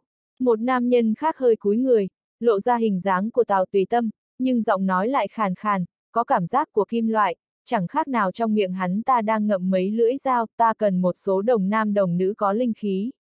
Bằng không, cho dù khôi phục nhục thân, thực lực cũng người không còn một, làm sao mà báo thù. Từ cách nói chuyện, Tào Tùy Tâm này ngược lại có chút giống với kiếm thánh Tào Cát Lợi bên trong bí cảnh. Thật xin lỗi, Tào Kiếm Thánh, thứ cho lão phu không thể đáp ứng yêu cầu này của ngươi. Nhạc lão gia tử biến sắc, quả quyết lắc đầu, hành động lần này đã phá vỡ thiên hòa, Quỳnh đảo lại là căn cơ của nhạc gia ta. Lão phu tuyệt không làm mấy chuyện tự chui đầu vào dọ này đâu. Tào Cát Lợi hừ lạnh, quát lớn, gia tộc đã suy tàn thành như vậy, lại còn nói cái gì căn cơ, đúng là ngu xuẩn. Nhạc Long thăng kiêu hùng đến cỡ nào, nhưng lại có loại hậu nhân nhát như chuột như các ngươi. Tổ tiên đại nhân, nếu không, chúng ta về Tào ra đi. Tào tùy tâm suy nghĩ một chút rồi nói, đến lúc đó, chúng ta yêu cầu gia tộc bố trí linh địa tịnh dưỡng, giúp cho người trở lại đỉnh phong. Đến lúc đó, chúng ta lại đi giết hạ thiên, rửa sạch mối nhục này. Im ngay, nơi này có phần của ngươi lên tiếng sao. Tào cát lợi càng thêm nóng nảy, một chút cũng không nhìn được cơn tức, chỉ vào nhạc lão gia tử mà nói, từ giới chấn thủ sứ, đến bây giờ chỉ còn lại hai nhà tào nhạc chúng ta. Hiện tại, tàn cảnh cũng đã sập, không mất mấy ngàn năm hoàn toàn không có khả năng khôi phục. Không có tàn cảnh, người cảm thấy nhạc gia các ngươi còn có thể sống bao lâu? Nhạc lão gia tử hiển nhiên đã suy nghĩ qua vấn đề này. Sau khi im lặng một hồi, ông liền hỏi, vậy theo ý của Tào Kiếm Thánh, chúng ta nên làm như thế nào? Đến bây giờ còn giả ngu, cho nên cũng chỉ có cách cục đó mà thôi, khó trách nhạc gia càng lăn lộn càng kém. Tào Cát Lợi hừ lạnh một tiếng, nhưng tình thế bây giờ không ai mạnh, ông cũng không có thời gian đi vòng vèo, gia tộc ẩn tông chúng ta chỉ có thể dựa vào bí cảnh mới có thể đứng trên các gia tộc khác. Nếu không thể duy trì sự ưu việt này, chúng ta bất cứ lúc nào cũng có thể bị hiển tông thay thế. Cho nên, việc cấp bách bây giờ là chiếm một bí cảnh khác. Lại chiếm một bí cảnh khác, nhạc lão gia tử lắc đầu, thở dài nói, linh khí thịnh nhất trên trái đất cũng chỉ có ba đại bí cảnh. Bây giờ U Minh đã sụp đổ, Quy Khư cũng đã bị phong ấn, những bí cảnh nhỏ hoàn toàn không đáng nhắc đến. Tào Cát Lợi lạnh giọng hỏi ngược lại, đã nói là ba đại bí cảnh, vì sao ngươi không nhắc đến bí cảnh thiên cung? Ngươi nói bí cảnh thiên cung, sắc mặt nhạc lão gia tử thay đổi, ánh mắt lướt qua sự sợ hãi, đó là địa bàn của tiêu gia, cảnh chủ vẫn còn sống. Năm đó, khi tiêu gia rời khỏi tàn cảnh U Minh, họ đã ký minh ước với ba nhà, vĩnh viễn không bao giờ đụng đến bí cảnh thiên cung. Nếu không, chắc chắn sẽ bị tiêu gia trả thù. Cái gì mà minh ước chứ? Bội ước chính là lão tử năm đó ký với lão tặc tiêu gia. Tào Cát Lợi khinh thường mắng, khi đó, linh khí ba đại bí cảnh khá nhiều, thế lực tiêu gia mạnh nhất, cho nên mới có minh ước đó. Bây giờ Ninh gia đã tuyệt, hai nhà chúng ta cũng không thể tiếp tục dựa vào tàn cảnh u minh. Nếu không liều một phen, nhạc gia các ngươi chỉ sợ ngay cả năm nay cũng không qua được. Nhạc lão gia tử đích thật lo lắng vấn đề này. Cựu gia nhạc gia cũng không ít, trước kia còn có tàn cảnh u minh, bất cứ lúc nào cũng có thể bồi dưỡng một nhóm cao thủ gia tộc. Cho nên, bọn họ cũng không để cửu gia trong lòng. Bây giờ thì khác, nếu không chuẩn bị từ sớm, chờ sau khi đám cửu gia kia nhận được tin tức, nhạc gia rất có khả năng sẽ giống như ninh gia, bị tiêu diệt cả nhà. Hơn nữa, cảnh chủ chỉ quan tâm đến sự tồn tại của bí cảnh, đã có thể tiện nghi cho tiêu gia thì cũng có khả năng tiện nghi cho tào gia chúng ta hoặc nhạc gia các ngươi. Tào cát lợi khẽ cười một tiếng, tiếp tục dụ dỗ, sau khi rời khỏi tàn cảnh u minh, ta còn có thể sống được nửa năm. Thừa dịp lão phu còn sống, chỉ cần gia tăng thực lực đến thời kỳ đỉnh phong, đến lúc đó chưa chắc không có sức liều mạng với tiêu gia. Lời của Tào Kiếm Thánh rất có lý. Nhạc lão gia tử rốt cuộc cũng hạ quyết tâm, bí cảnh thiên cung mở ra còn có 3 tháng. Trong khoảng thời gian này, ta sẽ lấy hết tất cả linh khí nhạc gia chúng ta, tìm thêm một số người trẻ tuổi huyết khí cường thịnh cung cấp cho lão tổ ngươi khôi phục thực lực. Tốt, đây mới là khí phách của nhất gia chi chủ. Gương mặt Tào Cát Lợi hiện lên sự hài lòng. Ông ta quay sang Tào Tùy Tâm đã biến thành nữ nhân, người tịnh dưỡng hai ngày, sau đó quay về Tào gia truyền mệnh lệnh của ta, toàn lực chuẩn bị cho việc tiến vào bí cảnh thiên cung. Cần phải đánh tiêu gia trở tay không kịp, trọng trấn vinh quang Tào gia. Vâng, Tào Tùy Tâm gật đầu đồng ý. Không bao lâu sau, Tào Cát Lợi cũng cảm thấy hơi mệt, lập tức cùng với Tào Tùy Tâm đến tầng hầm hậu viện nhạc gia. Ở đó cất giấu không ít linh thạch, có thể giúp ông ta chậm rãi khôi phục. Cha, cha thật muốn trở thành địch của tiêu gia sao? Nhạc nhất san có chút lo lắng nói, đây chính là một con quái vật khổng lồ, ngay cả tào nhạc liên thủ cũng chưa chắc là đối thủ. Đã không còn cách nào khác, nhạc lão gia tử thở dài thật sâu, cho dù tàn cảnh U Minh còn chưa bị hủy, phong giới môn cũng đã bị xóa đi. Nhạc gia chúng ta cũng không thể vào được nữa. Nếu không cố gắng cho lần này, nửa năm sau chúng ta sẽ bị cửu gia diệt môn. Nhạc nhất san có chút do dự, hay chúng ta chậu vàng rửa tay, tuyên bố với bên ngoài ẩn tông nhạc gia chúng ta lui về, từ đây trở thành gia tộc bình thường. Người quên kết cục của Ninh gia rồi sao? Nhạc lão gia tử cười khổ, lúc đó, Ninh gia cũng là nhất đại gia tộc Trung Nguyên, không hề thua kém triệu gia, tần gia bao nhiêu, nhưng rồi cũng bị hôi phi yên diệt đấy. Nhạc nhất san cũng biết được một số tiền căn hậu quả, có chút cảm khái nói, nội một mình hạ thiên thôi cũng đủ cho tào nhạc hai nhà chúng ta luân lạc đến tình cảnh này, đối đầu với tiêu gia, chỉ sợ chúng ta càng không có phần thắng. Cho nên, chúng ta chỉ có thể gửi hy vọng ở tào kiếm thánh. Thực lực đỉnh phong của ông ta đích thật vô địch, năm đó, ông ta đã dùng sức một người khiến tiêu gia sinh lòng kiêng kỵ. Nhạc lão gia tử chỉ có thể nói như vậy để tự an ủi mình, người đừng tham gia việc này, hãy để ta toàn quyền phụ trách. Người xuống dưới bế quan chữa thương đi. Nhạc nhất san không nói câu nào, chậm rãi lui xuống. Người đâu, sau khi con gái đã lui xuống, nhạc lão gia tử lập tức ra lệnh. Ba bóng người bay xuống, cung kính quỷ gối trước nhạc lão gia tử, ẩn vệ nhạc gia xin ra mắt gia chủ. Ta giao cho các ngươi một nhiệm vụ. Nhạc lão gia tử im lặng hai giây, sau đó quả quyết nói, các người hãy đi tìm người có huyết khí tràn đầy, linh vận đầy đủ, là đồng, không, là nam nữ trẻ tuổi. Ta cho các người ba ngày, phạm vi chỉ giới hạn Quỳnh đảo, nhưng không giới hạn du khách trên đảo. Đầu mục ẩn vệ không khỏi ngẩng đầu, nhỏ giọng đề nghị, hành động bắt ngư dân hai ngày trước đã khiến cho cảnh sát chú ý, chỉ bằng đợi phong thanh qua đi lại. Im ngay, ánh mắt nhạc lão gia tử hiện lên sự bất mãn, ta bảo các ngươi đi làm thì các ngươi đi làm. Đến lúc nào đến phiên các ngươi nói chuyện chứ? Rõ, ẩn vệ đầu mục đành phải gật đầu. Không bao lâu sau, bọn họ liền cáo lui rời đi. Đội trưởng, chúng ta nên làm cái gì đây? Sau khi ba người rời khỏi lão trạch nhạc ra, một nữ ẩn vệ không nhịn được lên tiếng hỏi. Còn có thể làm sao? Chấp hành nhiệm vụ thôi. Đầu mục ẩn vệ thở dài. Một nữ ẩn vệ khác nhẹ giọng nói, ta nghe nói tàn cảnh U Minh đã bị sụp đổ. Nếu chúng ta tiếp tục qua lại với nhạc gia, có hay không sẽ bị liên lụy, sau đó. Im lặng, đừng có nói hưu nói vượn. Đầu mục ẩn vệ giật mình kêu lên, vội vàng bưng kín miệng thuộc hạ, việc này sao chúng ta có thể bàn luận được. Chúng ta là cô nhi do nhạc gia nuôi lớn, nhất định phải trung thành vô điều kiện với nhạc gia. Ẩn vệ lớn tuổi hơn bất mãn nói, nhưng ta cũng nghe người khác nói qua, thật ra cha mẹ chúng ta là do nhạc gia phái người giết chết, sau đó thu nhận chúng ta, bồi dưỡng chúng ta thành sát thủ. Ngươi nghe được từ đâu? Đầu mục ẩn vệ bất mãn nói, lời này mà ngươi cũng tin. Rõ ràng có người kiếm chuyện ly gián. Người ta có chứng cứ, không phải nói bậy. Nữ ẩn vệ lớn tuổi ngược lại có dũng khí nói ra, ta đã xem qua, trên cơ bản là thật. Người đã tiếp xúc với người ngoài. Ánh mắt đầu mục ẩn vệ lộ ra hàn mang, người cũng biết kết cục phản bội gia chủ là như thế nào chứ. Nếu gia chủ là cửu nhân diệt môn ta, tại sao ta lại phải trung thành với ông ta chứ?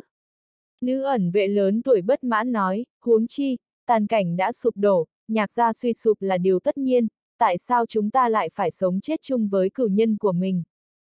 Đầu mục ẩn vệ đưa tay bóp lấy cổ nữ ẩn vệ, ai nói với ngươi những lời này? Là Bạch Nguyệt Quang, tổ trưởng của bọn họ đích thân đến tìm ta, muốn ta chuyển sang bên đó. Nữ ẩn vệ lớn tuổi cũng không giấu giếm, chính bọn họ đã đưa cho ta những tài liệu đó. Ta đã xác nhận qua, là thật. Đội trưởng, cha mẹ của ngươi nói không chừng cũng. Ngâm miệng, đầu mục ẩn vệ vung tay tát cho thuộc hạ một bạt tai, nhạc gia là gia đình của chúng ta, nhớ kỹ điều đó. Bạch Nguyệt Quang đang muốn ly gián chúng ta.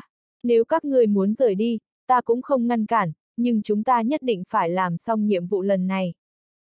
Nữ ẩn vệ tuổi tác nhỏ hơn không khỏi hỏi, chúng ta đi đâu tìm người mà gia chủ muốn chứ? Đi Đam Châu, đầu mục ẩn vệ suy nghĩ một chút, sau đó nói, du khách gần đây rất nhiều, thủ hạ của ta có được một đoạn tư liệu, trong đó có ba mục tiêu cực phẩm, tất nhiên sẽ khiến gia chủ hài lòng. Nói xong, ba người liền biến mất trong bóng đêm. Một bữa cơm gà vịt thịt gà đều có đủ, ăn đến no bụng. Không thể không nói, Mạc Thúc đúng là một người tuyệt vời, không những thấy nhiều biết rộng, nói chuyện cũng rất khôi hài. Thật ra, đi du lịch cũng không cần thiết phải đến những thành phố lớn. Nông thôn của chúng ta cũng rất tốt, giá cả còn rẻ nữa.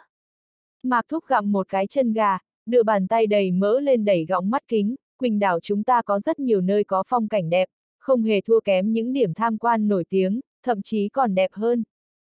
Ninh nhụy nhụy hơi động tâm, có thật như vậy không? Ta thật sự muốn đến đó tham quan. Nơi này có cái gì mà tham quan chứ? Hạ Thiên khinh thường nói, cảnh đêm ở Thanh Phong Sơn mới xứng với chữ tuyệt. Chỗ của các ngươi quá bình thường. Mạc Thúc sửng sốt một chút, không khỏi hỏi, Thanh Phong Sơn là chỗ nào? Thanh Phong Sơn chính là Thanh Phong Sơn. Hạ Thiên đáp, đó là ngọn núi đẹp nhất thiên hạ. Thật vậy sao, nếu có cơ hội, ta nhất định phải đến đó xem qua một lần. Mạc Thúc thuận miệng phụ họa, rồi lại có chút không yên lòng hỏi, ba vị là người ở đâu? Dự định ở lại Quỳnh đảo chơi mấy ngày. Vấn đề này hỏi đúng là kịp thời. Trước đó, Ninh Nhụy Nhụy đi theo Trương Lăng Linh đến chữa trị tàn cảnh U Minh, còn chưa chữa trị xong đã gặp phải Hạ Thiên. Bây giờ tàn cảnh U Minh đã bị sụp đổ, trước mắt còn chưa có chỗ nào để đi. Ninh Nhụy Nhụy muốn ở đây một hai ngày. Nàng muốn xác nhận xem tàn cảnh sụp đổ có tạo thành ảnh hưởng không tốt gì cho người bình thường hay không. Chúng ta đến Quỳnh Đảo để du lịch. Ninh Nhụy Nhụy trực tiếp lướt qua câu hỏi của Mạc Thúc, chuyển sang chủ đề khác, phong cảnh nơi này quả thật không tệ, nhưng hiện tại chúng ta còn chưa có chỗ ở, không biết Mạc Thúc có đề cử gì hay không. Xem như người hỏi đúng người rồi. Mạc Thúc mỉm cười, tích cực nói, ta biết rất rõ mấy chỗ ở đây. Vấn đề này cứ giao cho ta. Cho dù tìm không thấy chỗ ở cũng không gấp, ta có thể dựng mấy cái lều, mọi người ngủ trên bờ biển, nghe tiếng sóng, ngắm sao trời, cảm giác muốn dễ chịu bao nhiêu có bấy nhiêu. Người cảm thấy thế nào? Ninh nhụy nhụy quay sang hỏi ý kiến Hạ Thiên. Hạ Thiên đương nhiên không có ý kiến, một cái lều là được rồi. Người nghĩ hay lắm, Ninh nhụy nhụy lườm hắn một cái, sau đó quay sang nói với Mạc Thúc, đêm nay chúng ta ngủ lều đi. Người giúp ta chuẩn bị một chút, đến lúc đó bao nhiêu tiền ta sẽ thanh toán lại. Đừng nói chuyện tiền nong ở đây. Mạc Thúc có chút tức giận vỗ tay, người đẹp trai đẹp gái như các ngươi đến chỗ chúng ta để tham quan, chính là tuyên truyền cho chúng ta, chúng ta còn phải trả tiền cho các ngươi mới đúng. Cửu vạn cũng trách móc theo, đúng đấy, đừng nhắc đến chuyện tiền bạc. Nhắc đến chính là xem thường chúng ta. Được thôi, Ninh nhụy nhụy cũng không dây dưa đề tài này nữa. Khi rời đi, nàng âm thầm để lại tiền cho bọn họ là được. Hạ Thiên lười biếng ngáp một cái, nói với Mạc Thúc, người mà ngươi gọi đến, tại sao còn chưa đến? Gọi người, gọi ai? Mạc Thúc gượng cười, có chút lúng túng nói, hay là thức ăn ta làm không hợp với khẩu vị của các ngươi, cho nên các ngươi có ý kiến đối với ta. Không phải, ăn rất ngon. Bé ngoan vừa cười vừa nói. Ninh nhụy nhụy cũng lắc đầu, lập tức giải thích tính cách của hắn chính là như vậy, thật ra hắn không có ác ý gì đâu, ngươi không cần phải để ý.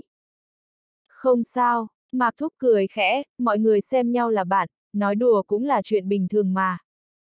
Phong cảnh bên này quả thật không tệ, chúng ta có thể đi tham quan không?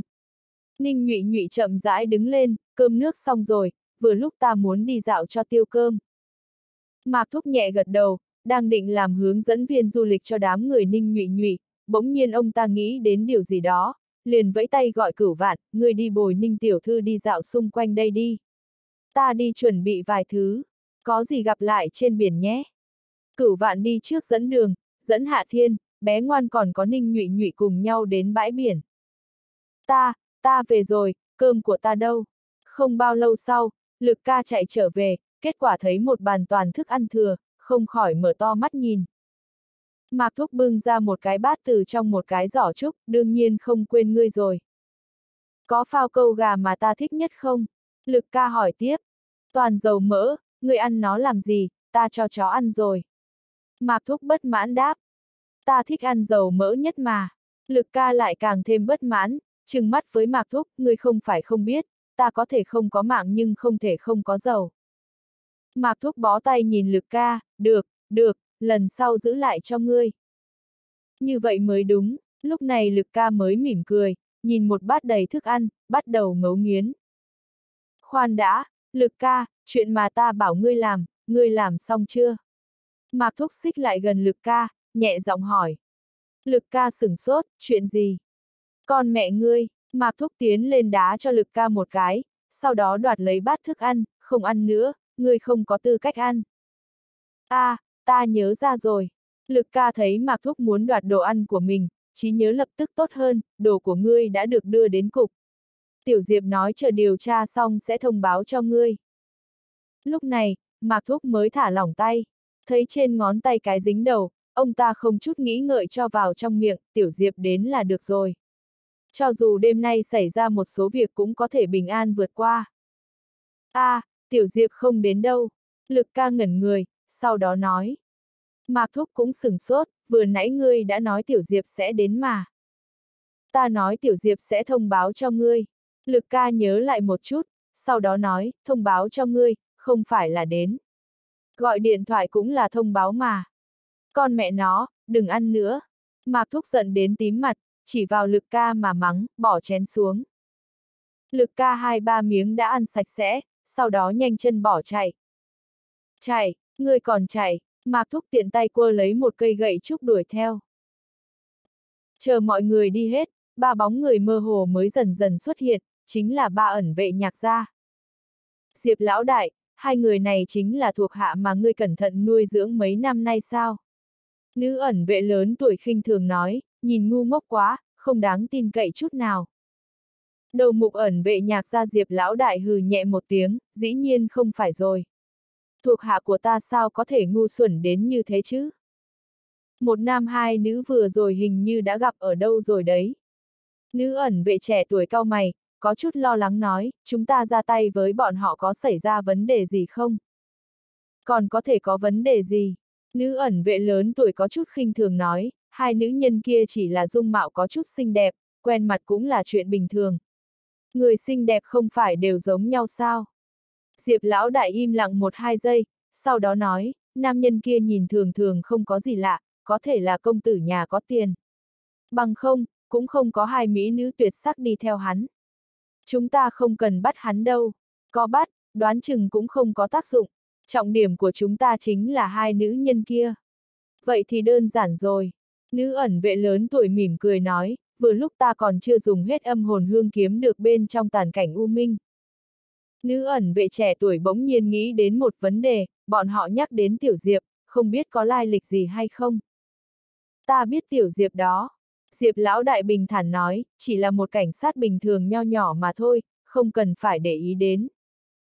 Nữ ẩn vệ lớn tuổi cười hỏi, chẳng lẽ hắn ta là đồng tộc của ngươi? Hắn ta cũng xứng, Diệp lão đại phun một bãi nước bọt xuống đất, cũng không muốn thảo luận chuyện này, hôm nay làm xong nhiệm vụ này, ta trở về sẽ xin gia chủ chuyển đi. Ta luôn có cảm giác thế cục trên Quỳnh đảo sắp thay đổi. Sớm nên như vậy rồi. Nữ ẩn vệ lớn tuổi không kềm nén được vui sướng trong lòng, nhạc gia sắp không xong rồi. Chúng ta phải tìm một nơi khác, nếu không, nhất định sẽ bị liên lụy. Trong lòng Diệp lão đại có chút bất an, không khỏi hỏi, người xác định người của Bạch Nguyệt Quang có thể đề cử ta gia nhập ám ảnh đoàn. Đương nhiên không thành vấn đề rồi. Nữ ẩn vệ lớn tuổi ngạo nghễ nói, tuy nói ám ảnh đoàn là tổ chức sát thủ lớn nhất thế giới hiện nay, cánh cửa rất cao. Nhưng Bạch Nguyệt Quang là tổ chức sát thủ bên dưới của ám ảnh đoàn, xếp hạng trên bảng cũng không thấp. Năm đó, danh tiếng của Diệp lão đại ngươi không kém, việc này tuyệt đối 10 phần chắc chín. Nữ ẩn vệ lớn tuổi nhìn nữ ẩn vệ trẻ tuổi, Tiểu Yến, người thì sao? Có tính toán gì không? Tiểu Yến có chút do dự nói, Hoa tỷ, ta cần suy nghĩ lại một chút. Được thôi, tùy ngươi. Hoa tỷ hơi bất mãn hừ nhẹ một tiếng, chỉ là bỏ lỡ cơ hội này, về sau ngươi không còn đường nào để đi đâu.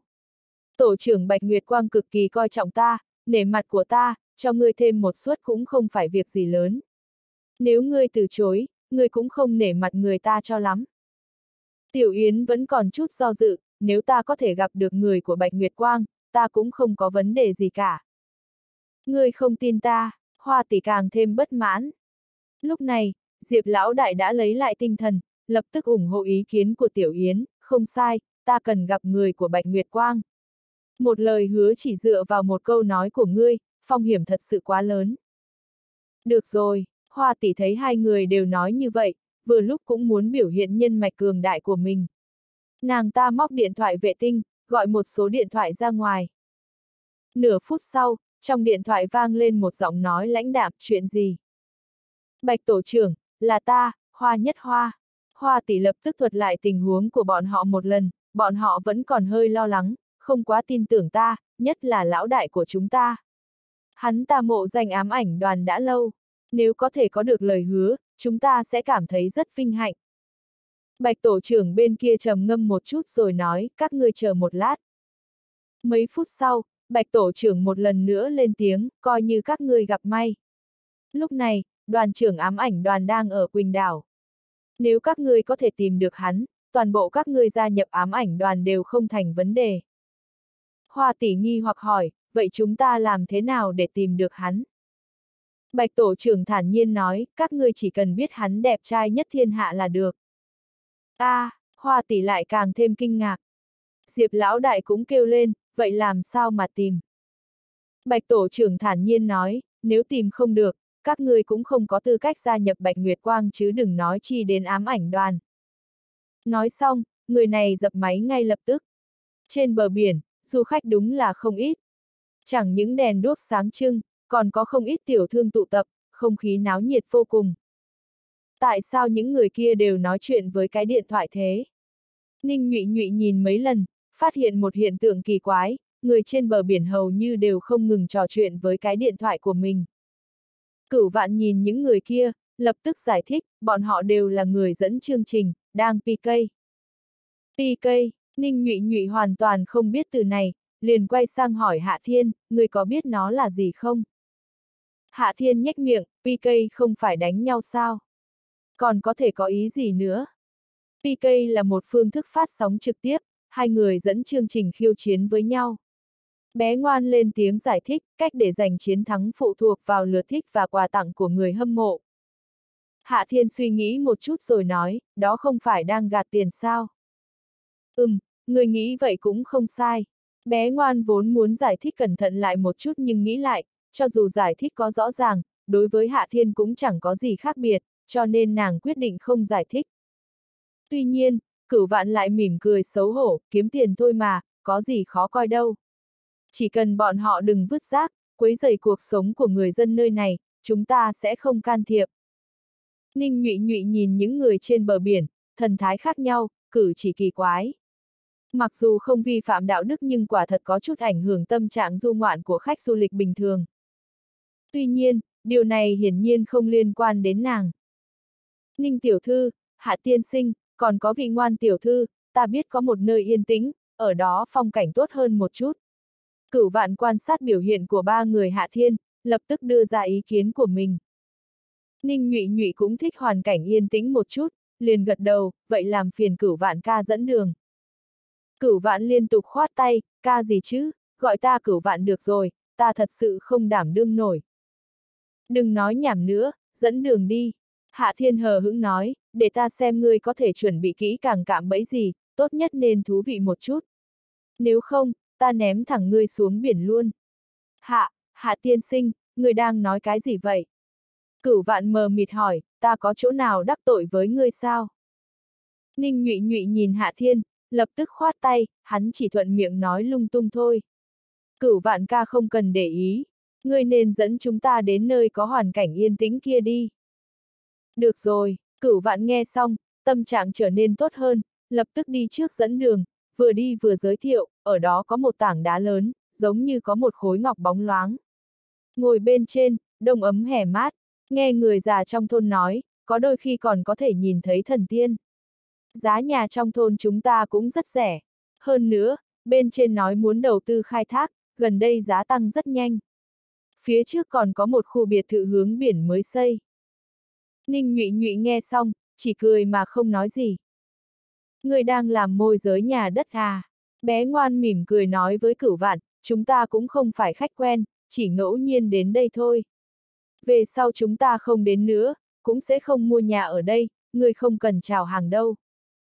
Cửu vạn mỉm cười xấu hổ, sờ mũi nói, ta chỉ thuận miệng nói mà thôi, nếu các ngươi không thích nghe, vậy thì ta không nói nữa. Đi được một lát, quả nhiên nhìn thấy đằng trước có một tảng đá lớn.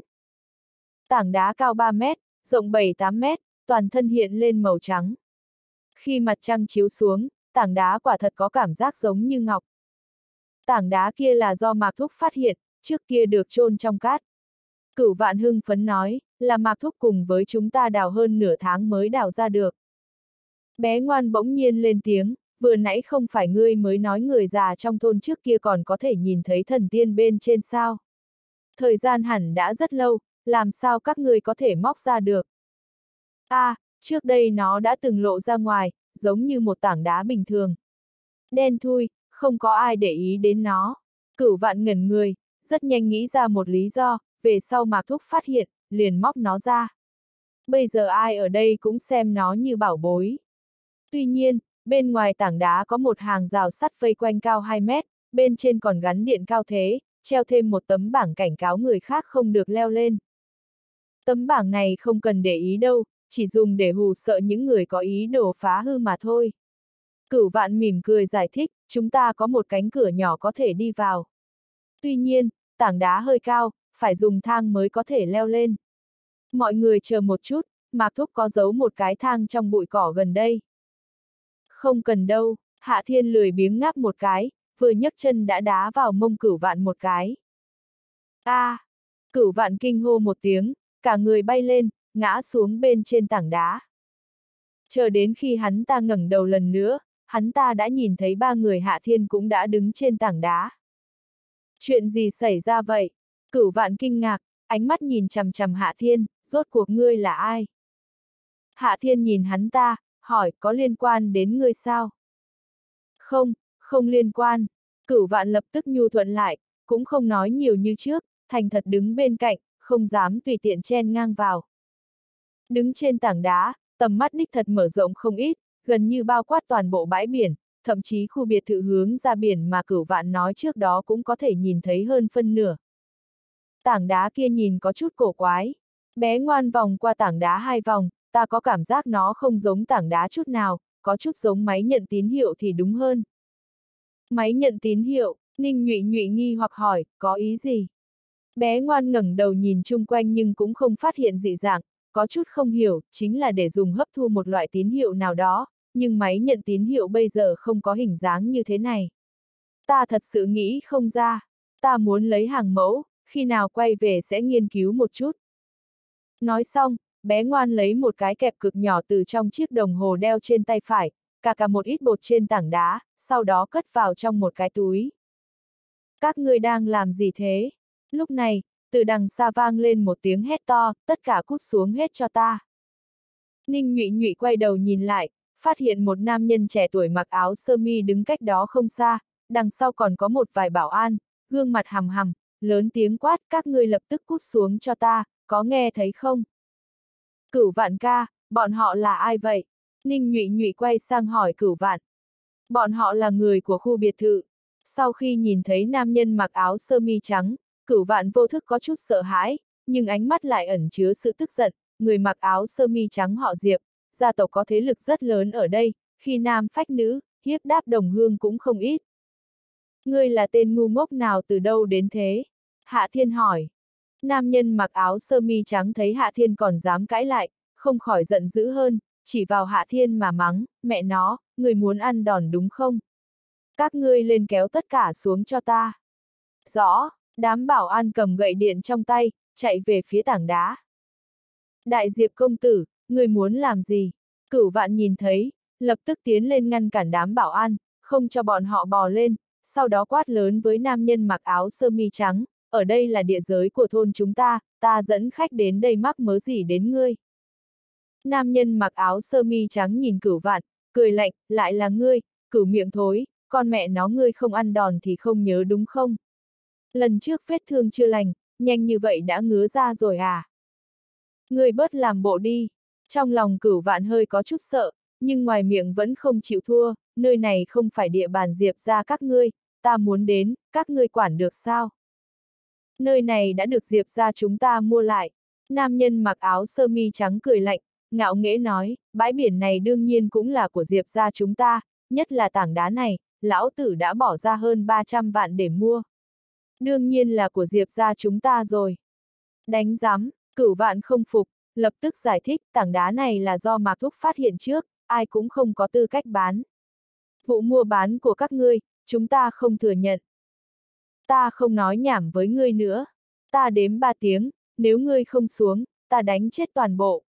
Nam nhân mặc áo sơ mi trắng cũng không kiên nhẫn, thái độ vinh váo hung hăng, tuy nhiên, nhìn dáng dấp của hai nữ nhân kia không tệ, chỉ cần chịu chơi với ta một, a. À. Hắn ta còn chưa nói xong, người đã bay hơn mấy trăm mét, một đầu đâm vào bãi cát, không rõ sống chết. Mấy gã nhân viên bảo an sửng sốt mấy giây, bởi vì bọn họ hoàn toàn không nhìn thấy rõ chuyện gì xảy ra đã thấy chủ của bọn họ đột nhiên bay lên, một giây sau thì người đã không thấy tăm hơi. Tuy nhiên, rất nhanh bọn họ đã lấy lại tinh thần, không để ý đến việc dọa Hạ Thiên, chỉ lo chạy đi cứu vị Diệp Đại Công Tử. Là ngươi đã hắn ta đi. Cửu vạn nhớ đến chuyện vừa nãy, liền quay sang nói với Hạ Thiên, người gây ra họa rồi. Đây chính là đại công tử của Diệp gia. Diệp gia rất có thế lực ở đây. Lần này xong rồi, các ngươi chạy mau đi, để ta đi thông báo cho Mạc Thúc. Nếu không, tuyệt đối chết chắc. Chỉ một phế vật thôi mà, không đá chết đã là không tệ rồi. Hạ Thiên lười biếng ngáp một cái, dám ngoài miệng chiếm tiện nghi nữ nhân của ta. Hắn ta đang tìm chết. Ninh nhụy nhụy thản nhiên nói, cửu vạn ca, nếu ngươi sợ, ngươi có thể đi trước. Ta cũng muốn nhìn xem Diệp ra có bao nhiêu lợi hại. Các ngươi đúng là không biết chết sống. Cửu vạn do dự một hồi, sau đó quyết định lưu lại, được rồi, chết thì chết, ta ở lại, tốt xấu gì cũng có thể giúp các ngươi giải thích một chút. Không bao lâu sau, chỉ thấy Mạc Thúc cầm đèn pin khiêng máy quay phim mang theo ba người chậm rãi bước sang bên này. Ta đoán các ngươi sẽ ở đây mà. Mạc Thúc cười ha hả nói, cửu vạn, người mau xuống đây giúp ta phân đồ ra. Ta mang rất nhiều đồ đến, đêm nay dựng lều ngủ bên tảng đá là được. Cửu vạn nhảy xuống khỏi tảng đá, vội vàng chạy đến trước mặt Mạc Thúc, Mạc Thúc, ta có chuyện muốn nói với ngươi. Chuyện gì? Ánh mắt Mạc Thúc thay đổi, có phải bọn họ có vấn đề hay không? Bọn họ có vấn đề hay không? Trước gác sang một bên, cửu vãn lắc đầu, Hạ Thiên đã đánh Diệp Đại Công Tử. Diệp Đại Công Tử là ai? Mạc Thúc không hiểu hỏi. Cửu vạn im lặng, sau đó lớn tiếng nói, chính là đại thiếu gia của Diệp gia, anh họ của Tiểu Diệp trong cục cảnh sát, ngươi không nhớ rõ sao. Khi đào đá, hắn ta còn phái người đến đoạt lấy. a à, là tên ngốc đó à, đánh thì thôi chứ sao. Mạc Thúc lạnh lùng nói, còn giơ ngón tay cái với Hạ Thiên, đánh hay lắm, ta đã sớm muốn đánh tên vương bát đản họ Diệp kia rồi. Từ đằng xa, mấy chục bóng người lao đến, người đi đầu nổi giận đùng đùng quát, ngươi nói cái gì? Có ngon thì ngươi lặp lại lần nữa đi. Người mắng ai là vương bát đản? Người đi đầu chính là nam nhân mặc áo sơ mi trắng bị Hạ Thiên đạp bay. Lúc này, hắn ta đã thay một bộ quần áo ngắn khác, bên hông còn dắt theo một vật cứng, hơn phân nửa chính là súng. Ồ, nhanh như vậy mà hắn ta đã khôi phục lại sao? Ninh nhụy nhụy không khỏi có chút kỳ quái. Tuy nói Hạ Thiên từ trước đến nay ít khi vừa thấy mặt đã hạ tử thủ, nhưng đối với người bình thường mà nói tuyệt đối không phải vết thương nhỏ. Người này trở về nghỉ dưỡng sức chưa đến nửa tiếng, hắn ta đã có thể khôi phục như lúc ban đầu. Hoặc hắn ta có thể chất đặc biệt, không giống người bình thường.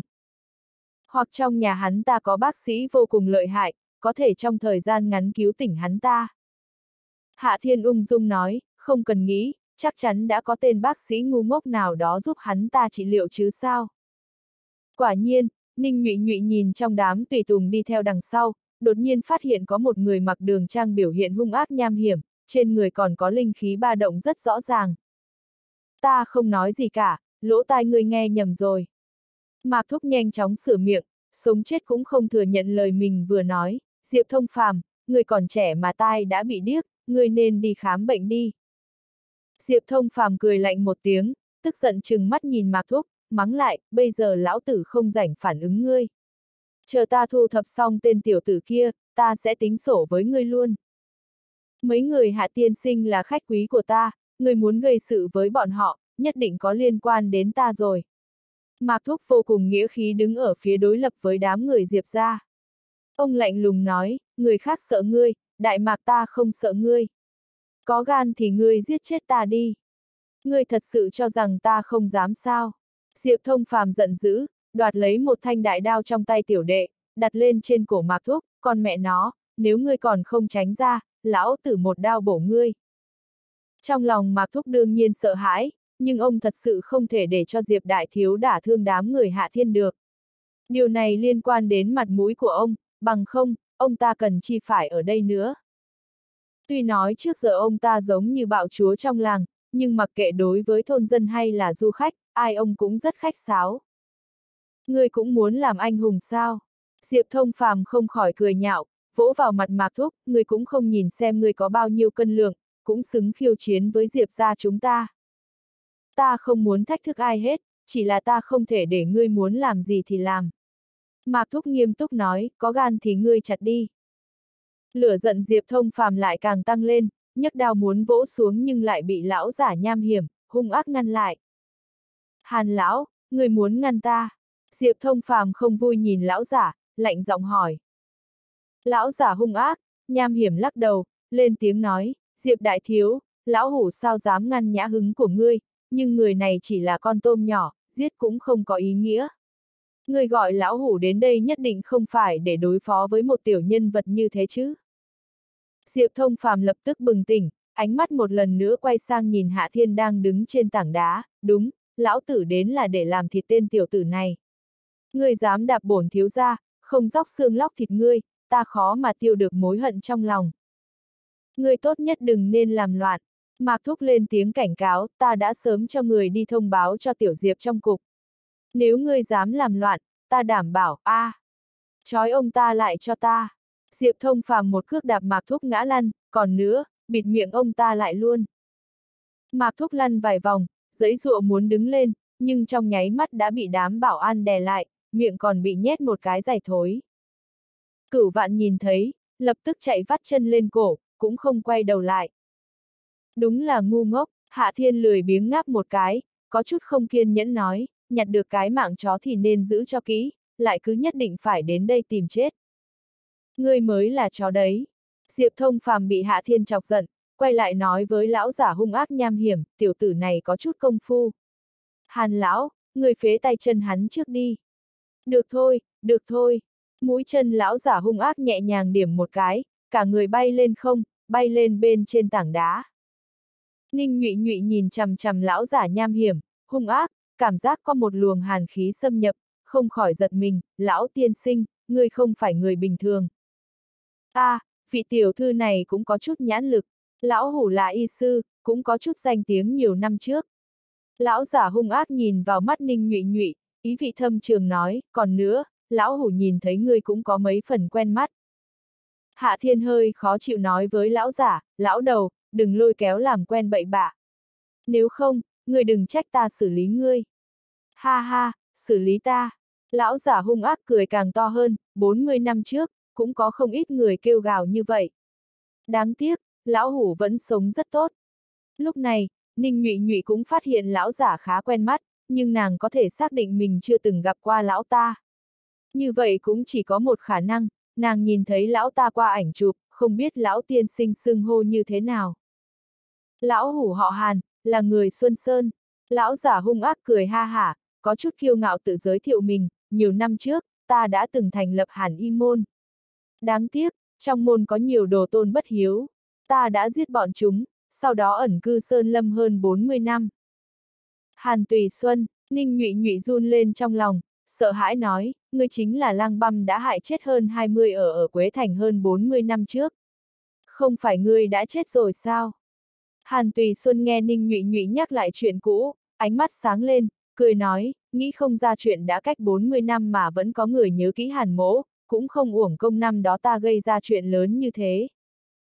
Ngươi hại chết nhiều người như vậy, chẳng lẽ ngươi không cảm thấy có chút áy náy nào sao?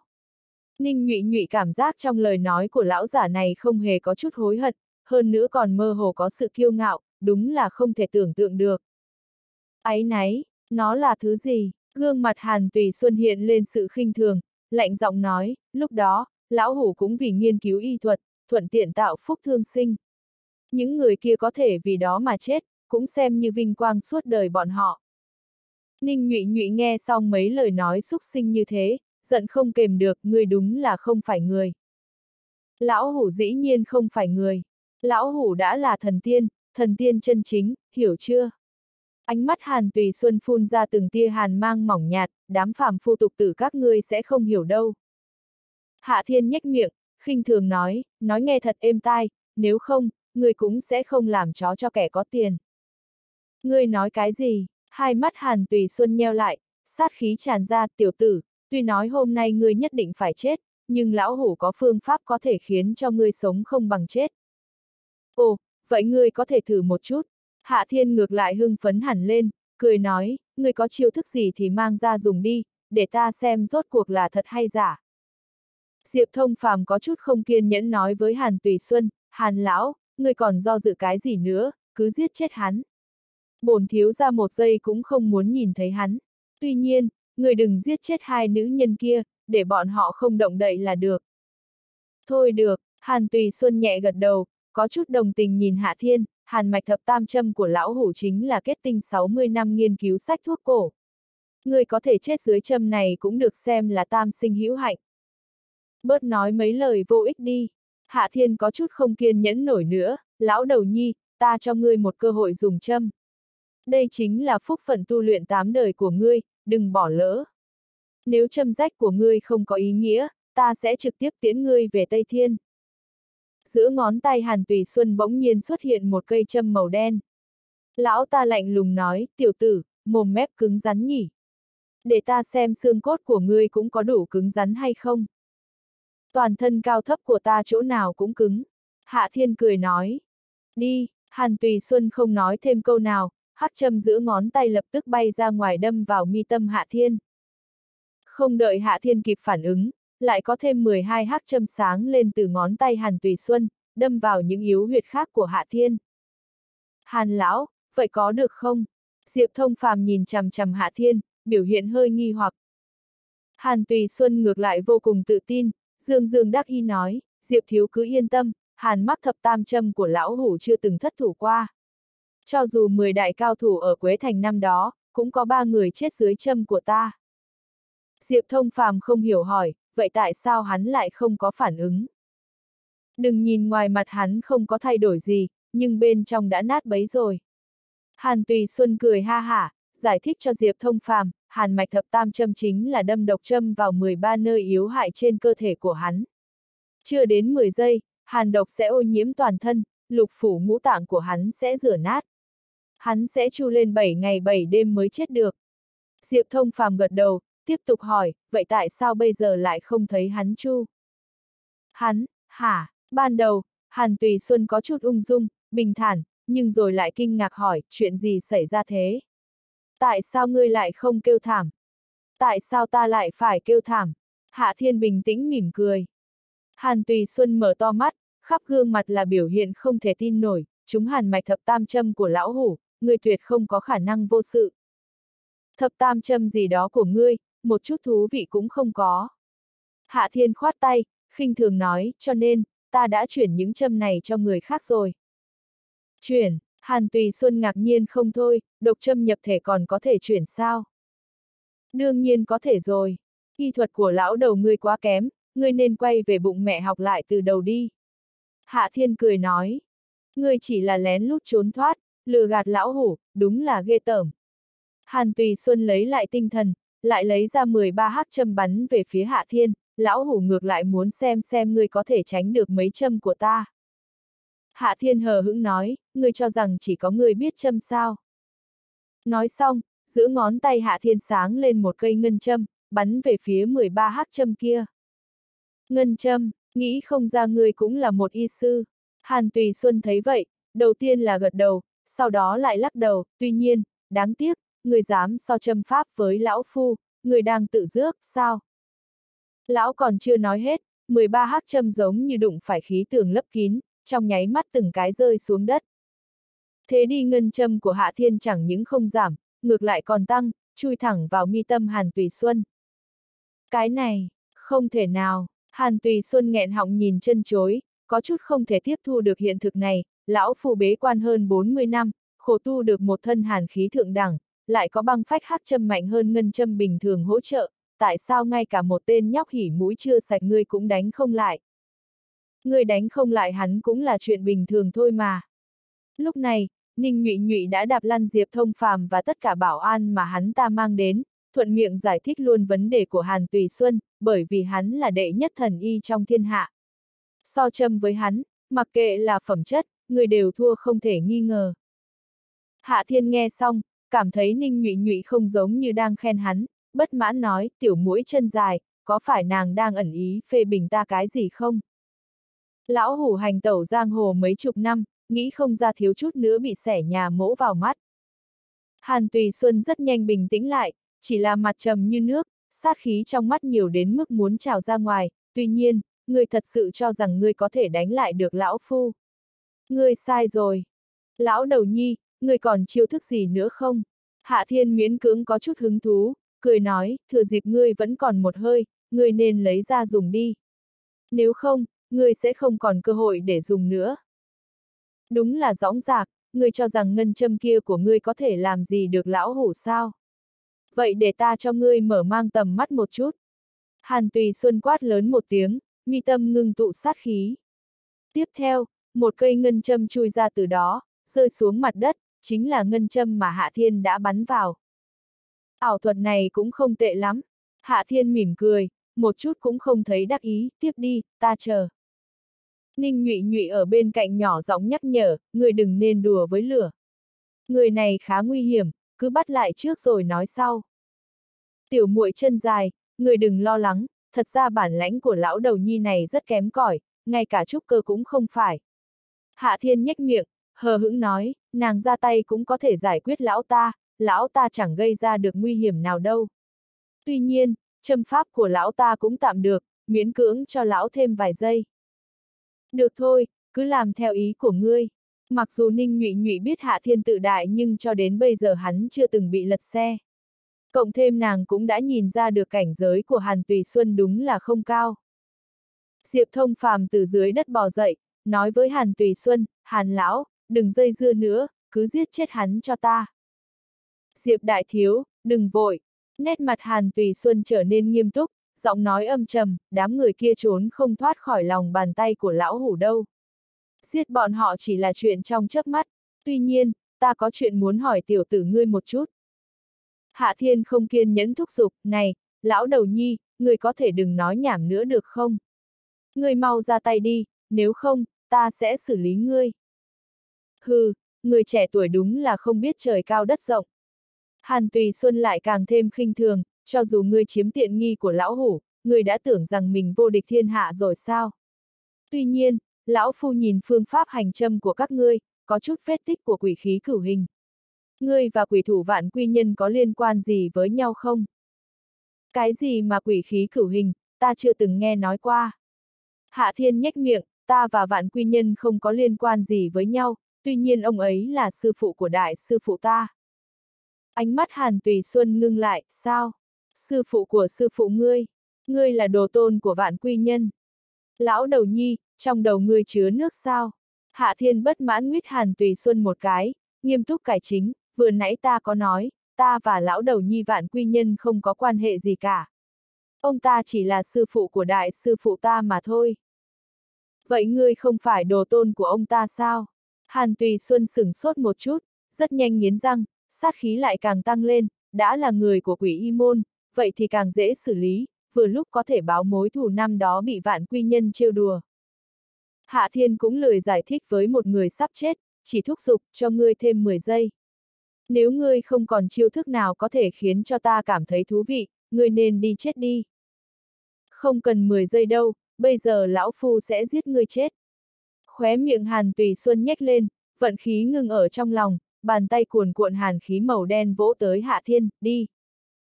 Hạ Thiên không tránh không né, mặc cho hàn khí màu đen kia bổ nhào vào người.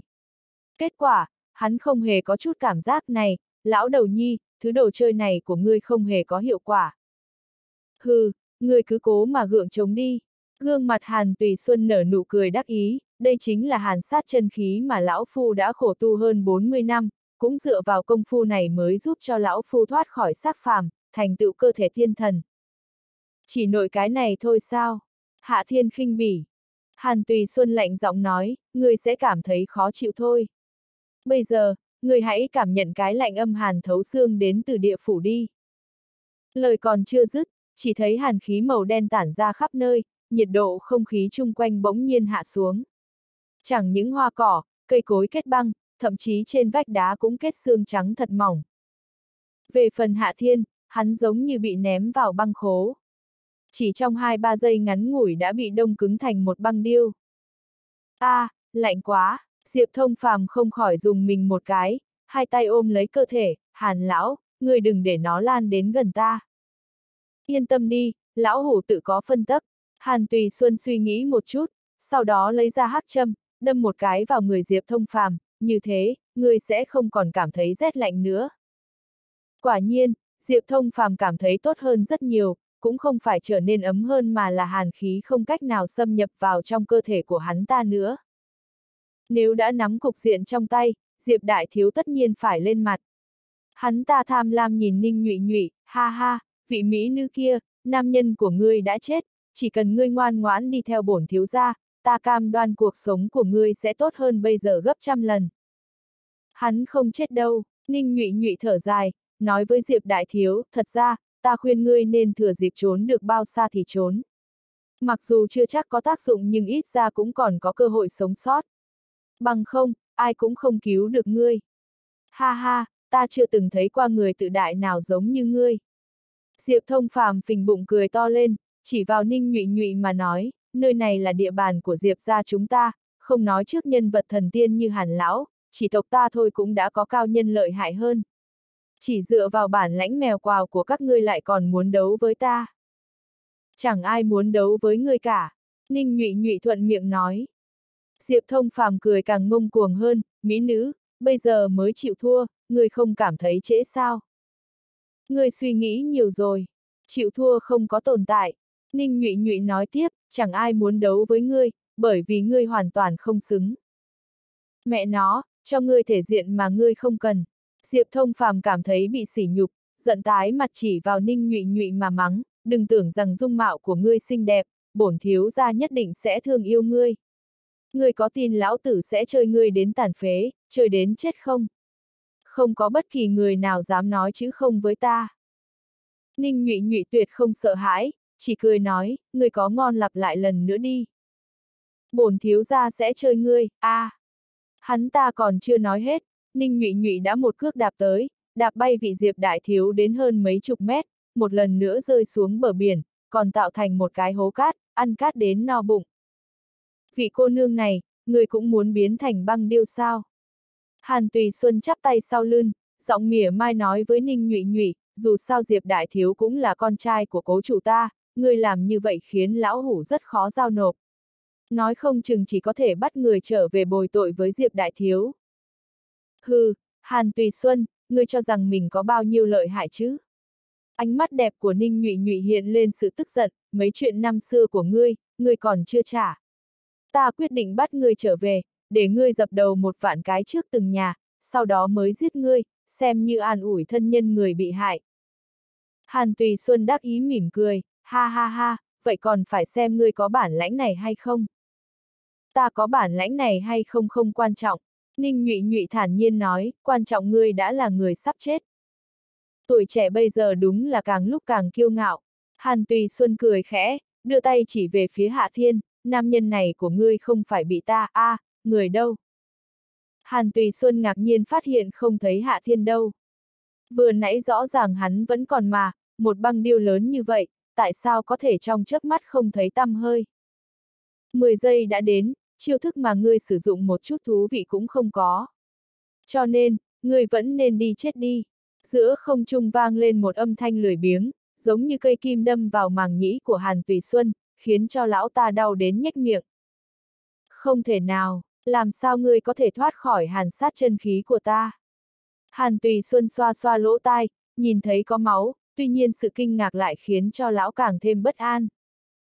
Hạ Thiên xuất hiện, cười nói ta là băng hỏa linh thể, cái gì hàn khí hỏa khí, chúng chỉ là thuốc bổ cho ta mà thôi. Tiếp theo, hắn bĩu môi nói, tuy nhiên, hàn sát chân khí của ngươi đúng là rác rưởi, còn không bằng hàn khí bên trong tàn cảnh U Minh trước đó. Ngươi biết tàn cảnh U Minh, Hàn Tùy Xuân mở to mắt, lộ ra vẻ kinh hãi, ngươi, rốt cuộc ngươi là ai? Ta không có nói với ngươi sao? Hạ Thiên cười một tiếng, ta tên Hạ Thiên, Hạ trong xuân Hạ thu đông, Thiên trong đệ nhất thiên hạ. Hạ Thiên, Hàn Tùy Xuân sửng sốt, chẳng lẽ ngươi là người của Hạ gia? Không thể nào, Hạ gia đã sớm đứt đoạn hương hỏa, tại sao còn có hậu nhân là ngươi? Ninh nhụy nhụy đã sớm tự y tiểu âm và A cửu biết được thân thế Hạ Thiên, biết hắn thật ra không phải họ Hạ, chẳng qua hắn được Nguyệt Thanh nhã nhặt được, cho nên mới lấy tên Hạ Thiên mà thôi. Cha đẻ Hạ Thiên họ Tiêu, nghiêm chỉnh mà nói, hắn là người của Tiêu gia. Ta tên Hạ Thiên, không cần kéo ta vào cái gia tộc gì đó đâu. Hạ Thiên có chút không kiên nhẫn, quay sang nói với Ninh Nhụy Nhụy, tiểu muội chân dài, nàng muốn cho lão nhân này sống thêm mấy ngày. Ninh Nhụy Nhụy suy nghĩ một chút rồi đáp, 10 ngày là được. Ta muốn dẫn lão ta đến Quế Thành một chuyến. Được, cứ như vậy đi. Giữa ngón tay Hạ Thiên sáng lên ngân châm, một lần nữa bắn tới Hàn Tùy Xuân. Vù! Đúng lúc này, không biết từ nơi nào bay ra một chùm ám khí như mưa chút xuống giữa không trung. Trong đó có mười mấy cái bắn về phía Hạ Thiên và Ninh Nhụy Nhụy. Số còn lại rơi xuống mặt đất. Bành bành bành. Rất nhanh, tiếng nổ liên tiếp vang lên. Mặt đất dâng lên hắc vụ cuồn cuộn, che khu vực mười mấy thước chung quanh đến tối tăm. Khi sương mù tan hết, không thấy bóng dáng Diệp Thông Phàm, còn có Hàn Tùy Xuân đâu. Hạ Thiên và Ninh Nhụy Nhụy vẫn đứng im tại chỗ, đám người mặc thuốc ngất xỉu nằm trên mặt đất. Sao, Ninh Nhụy Nhụy cao mày, bé ngoan đâu rồi? Chẳng lẽ nàng ấy bị bọn họ bắt đi? Không phải, Hạ Thiên cười nói, tiểu đậu đinh đã sớm rời đi rồi, hình như nhận được tin tức gì đó, sau đó lặng lẽ chuồn mất. Vừa rồi là ai ra tay thế? Biểu hiện ninh nhụy nhụy trở nên ngưng trọng, tuyệt không thể để lão cẩu Hàn Tùy Xuân chạy mất. Chúng ta đuổi theo đi. Hạ Thiên cười một tiếng, tiểu muội chân dài, không cần đuổi theo, chẳng mấy chốc bọn họ sẽ trở về. Khu biệt thự bãi biển, Diệp ra. Diệp thông phàm nằm trên giường, hai mắt nhắm chặt, gương mặt chỉ toàn là sự đau đớn, miệng không ngừng kêu đau.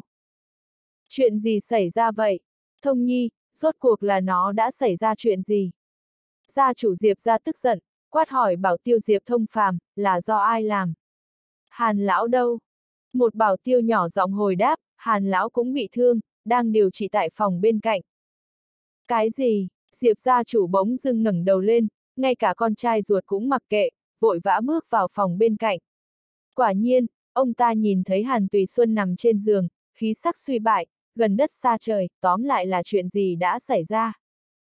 Đám bảo tiêu đi theo Diệp Thông Phàm nhìn nhau, không ai lên tiếng. Các ngươi chỉ toàn là phế vật. Diệp gia chủ tức đến mức phổi muốn nổ tung, lại quát hỏi, người cứu Thông Nhi và Hàn Lão trở về đâu rồi? Hồi gia chủ, bọn họ đang ở trong phòng khách, lúc này, có người chịu lên tiếng. Cơn giận còn sót lại trong lòng Diệp gia chủ vẫn khó tiêu, chỉ vào đám hộ vệ mà mắng, đám người các ngươi cút ra ngoài quỳ cho ta. Nếu thông nhi không sao, các ngươi sẽ ổn. Nếu thông nhi có gì sơ suất, tất cả các người phải bồi táng. Đám hộ vệ bị dọa đến hồn phi phách tán, chỉ là không ai dám lên tiếng oán giận, toàn bộ bước ra ngoài quỷ gối trước cửa. Cảm tạ ba vị ân nhân đã cứu con trai của ta. Diệp gia chủ bước vào phòng khách, nhìn thấy ba người mặc quần áo bó, xem ra thân phận không đơn giản, không biết ba người xưng hô như thế nào. Ba người này chính là sát thủ ẩn vệ mà nhạc gia đã phái ra, Diệp Lão Đại, Tiểu Yến và Hoa Tỷ. Bọn họ vốn phụng mệnh lệnh nhạc ra đi bắt những khách du lịch có huyết khí dồi dào, chữa thương cho người từ trong bí cảnh U Minh trốn ra ngoài, kết quả bọn họ vừa lúc nhìn chúng ninh nhụy nhụy và bé ngoan. Không đợi bọn họ ra tay, đám người Diệp gia đã xuất hiện, còn đánh nhau với đám người Hạ Thiên. Điều bọn họ cảm thấy kinh ngạc chính là, người Diệp gia không phải đối thủ của đám người Hạ Thiên. Mặc dù Diệp lão đại bình thường tự cao tự đại nhưng cũng sớm nhìn ra được thực lực của ông ta không chênh lệch bao nhiêu với hàn lão. Nếu tùy tiện ra tay, nói không chừng cũng sẽ bị phản sát. Tuy nhiên, trong lúc Hàn Tùy Xuân sắp bị ngân châm hạ thiên đâm trúng, hắn ta bỗng nhiên ra tay, đương nhiên chỉ ra tay cứu Hàn Tùy Xuân và Diệp Thông Phàm. Diệp lão đại cảm giác nhạc gia sắp sụp đổ, ông ta đương nhiên sẽ không bồi táng theo chiếc thuyền chìm này. Ám ảnh đoàn là một đường, mà giao hảo với Diệp Gia Quỳnh đảo chính là con đường thứ hai của ông ta. Diệp gia chủ, người không cần biết chúng ta là ai. Diệp lão đại cũng không vội vàng để lộ thân phận, ta cũng họ Diệp, hơn nữa còn là đồng tộc của ngươi. Không có lý nào ta ngồi nhìn Diệp đại thiếu bị người ta giết chết. Diệp gia chủ nhẹ gật đầu, cũng không hỏi quá sâu thân phận của ba người, nếu là như vậy, vậy ta gọi ngươi là Diệp tiên sinh. Ta muốn biết rốt cuộc là ai đã đánh con trai ta, còn có hàn lão bị thương thành như vậy. Ngươi có thể nói cho ta biết hay không? Cái này, gương mặt Diệp lão đại hiện lên sự do dự. Thế nào, chẳng lẽ ngươi còn gì lo lắng sao? Diệp gia chủ không khỏi có chút kỳ quái, lập tức đảm bảo, mặc kệ đối phương là ai, có tiền vẫn là có thế. Ở Quỳnh Đảo, Diệp gia ta vẫn còn chút phân lượng, có thể đảm bảo các người bình an vô sự. Diệp lão đại khoát tay, thành khẩn nói, chúng ta không phải lo lắng người khác trả thù chúng ta, mà là bản lãnh của người kia không nhỏ, ngay cả hàn lão cũng phải chịu thua. Nếu Diệp gia chủ muốn tìm người kia tính sổ, chỉ sợ. Ngươi cứ nói ra đi, Diệp thương minh ta sẽ ghi nhớ ân tình của ngươi. Diệp gia chủ có chút không nhịn được, nếu không phải ba người trước mắt cứu được con của ông ta, nói không chừng ông ta đã nổi bão, mặc kệ đối phương có bản lãnh lớn đến bao nhiêu, ở Quỳnh đảo này, ta đều có thể giết hắn. Diệp lão đại muốn chính là cái này, lập tức làm ra vẻ nhớ lại, ta cũng chưa từng gặp qua người kia, hẳn là du khách đến Quỳnh đảo du lịch. Ta nhớ hắn tự xưng là Hạ Thiên. Cái gì, ngươi nói hắn tên gì? Diệp gia chủ bỗng nhiên mở to mắt, con người vô thức mở to, ngươi lặp lại lần nữa xem. Hắn nói hắn tên Hạ Thiên, Hạ trong xuân Hạ thu đông, Thiên trong đệ nhất thiên hạ. Diệp lão đại không nghĩ đến Diệp gia chủ lại có phản ứng lớn đến như vậy, không khỏi có chút ngoài ý muốn, chẳng lẽ địa vị của người này rất lớn sao? Diệp gia chủ im lặng, thần sắc trên mặt biến ảo khó lường, rất nhanh mỉm cười, một lần nữa cảm ơn ba vị đã cứu con trai ta và hàn lão, còn thông báo thân phận của người kia. Ta thật sự rất cảm kích. Không dám nhận, chỉ là ta, a. À. Diệp lão đại gượng cười hai tiếng, đang muốn khách sáo đôi câu, bất ngờ không đề phòng, ót bỗng dưng chịu một quyền, lập tức hôn mê bất tỉnh. Trước khi ngất đi, ông ta làm sao cũng không nghĩ thông rốt cuộc tình huống như thế nào. Hai nữ nhân còn lại cũng bị Diệp gia chủ chế phục. Bọn họ hiển nhiên cũng không hiểu, hoàn toàn không hiểu Diệp gia chủ muốn làm gì. Chấm. Bãi biển, trên vách đá. Hạ Thiên và Ninh Nhụy Nhụy ngồi trên vách đá, mặt hướng ra biển ngắm bầu trời đêm. Người xác định những người kia sẽ quay lại sao?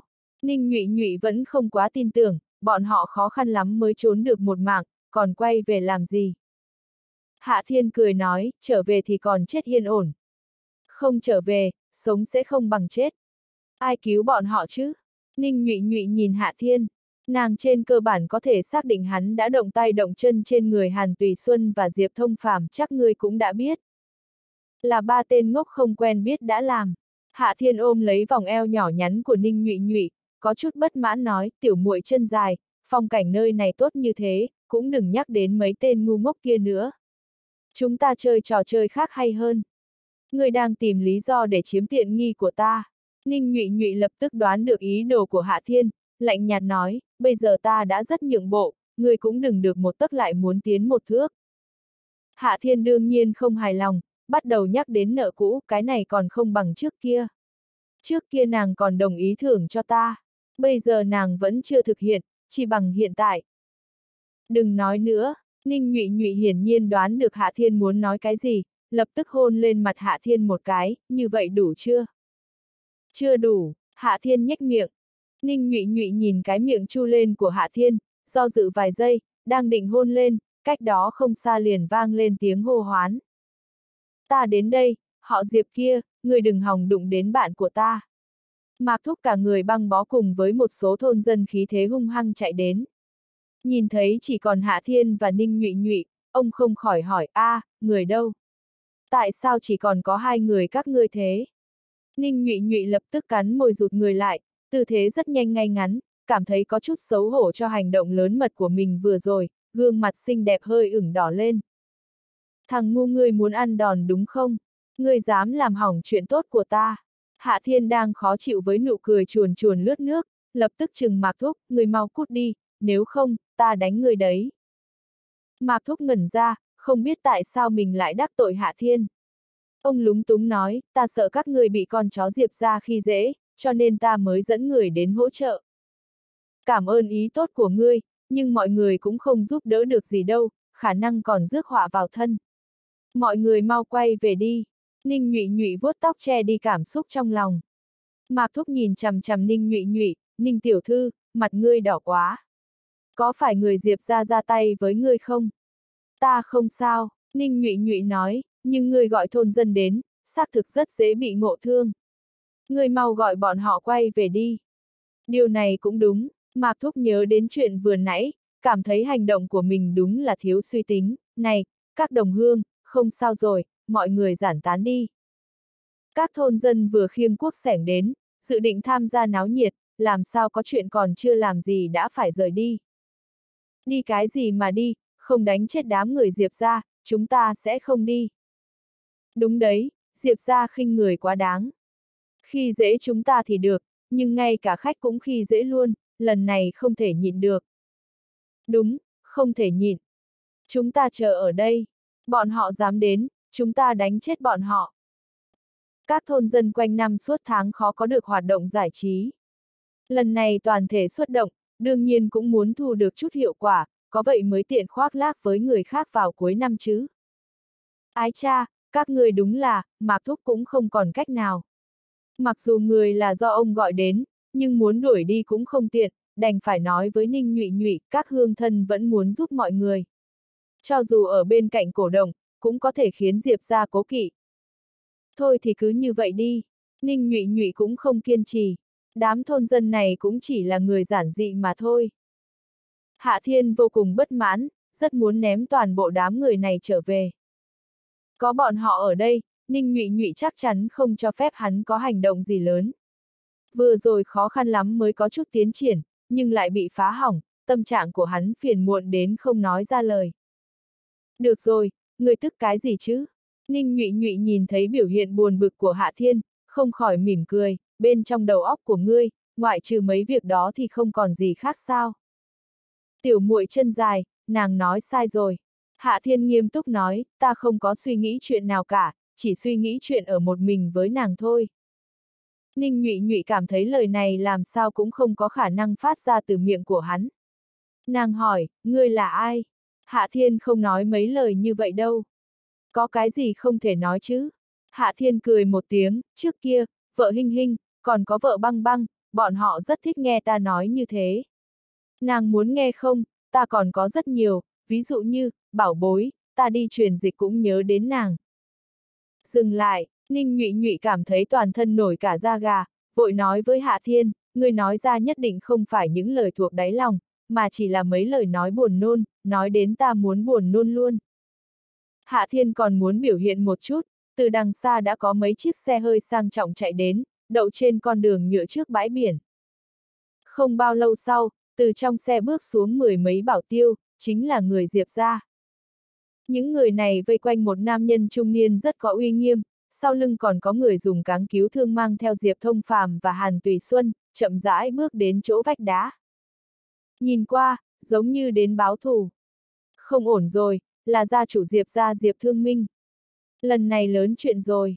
Mạc Thúc giật mình kêu lên, vội vàng tìm lực ca, dặn dò, người lập tức đến cục một chuyến, nhất định phải kéo Tiểu Diệp đến đây. Nếu không, xảy ra chuyện chết người đấy.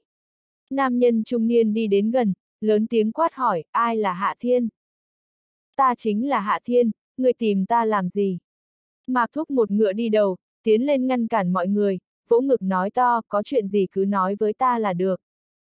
Những thôn dân khác cũng lập tức lấy ra nông cụ ngăn cản đường đi của đám người Diệp ra. Đừng quấy rối nữa, ngươi tranh thủ tránh sang một bên đi. Diệp gia chủ hiển nhiên cũng nhận ra Mạc Thúc, ta tìm Hạ Tiên Sinh có việc, không phải đến gây sự. Ninh nhụy nhụy lên tiếng, Mạc Thúc, không sao đâu, ngươi để bọn họ đến đây đi. Mạc Thúc do dự một chút, sau đó cùng với thôn dân tránh ra một con đường. Diệp gia chủ gật đầu với Mạc Thúc và thôn dân, tiếp theo cùng với một đám thuộc hạ đến dưới tảng đá. Ngươi là ai? Hạ Thiên lười biếng ngáp một cái, ngươi tìm ta có việc gì không? Ngươi chính là Hạ Thiên, không, Hạ Thần Y. Diệp gia chủ có chút ngoài ý muốn đánh giá Hạ Thiên, có chút nghi ngờ hỏi. Hạ Thiên khó chịu nói, có việc thì cứ nói, không việc thì biến xa một chút. Ta không có hứng thú nói nhảm với mấy tên ngu ngốc. Có, có việc, Diệp gia chủ cảm nhận được áp lực không cách nào nói rõ, lập tức gật đầu không thôi, ta tên Diệp Thương Minh, là gia chủ Diệp gia Quỳnh Đảo. Diệp Thông Phàm là con trai của ta, Hàn Lão là y sư tư nhân ta bỏ trọng kim mời đến.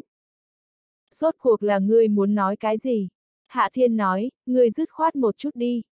Mặc dù trong lời nói của Diệp gia chủ ẩn giấu sự sắc bén, nhưng cũng xem như nhu thuận, ta vừa về nhà đã nghe nói con trai và Hàn Lão dường như mạo phạm hạ thần y.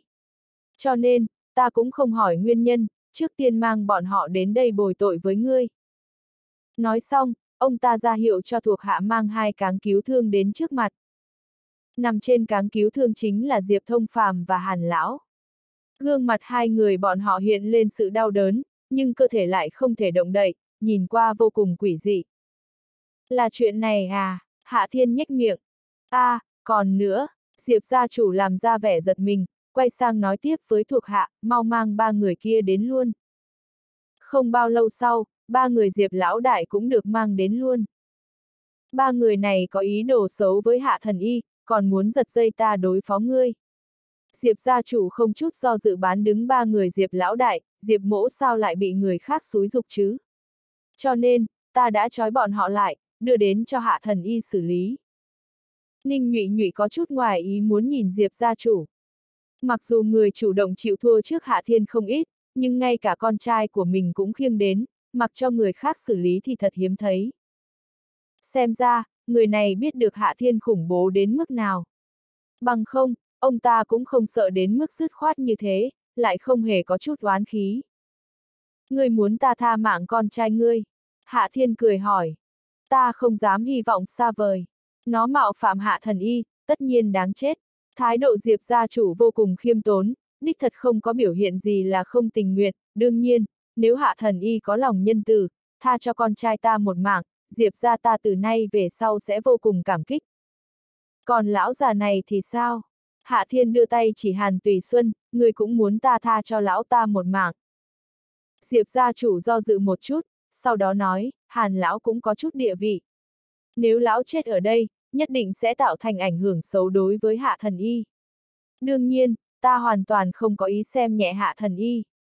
Chẳng qua ta cảm thấy hạ thần y không nhất thiết phải vì những tiểu nhân vật này mà bị, cho dù là tồn tại khả năng tổn thất nhỏ nhất. Ngươi nói chuyện cũng quá cẩn thận đi. Ninh nhụy nhụy có chút buồn cười nhìn Diệp gia chủ, không khỏi hỏi, ngươi từ đâu mà biết hạ thiên? Tại sao ngươi lại sợ hắn đến như thế?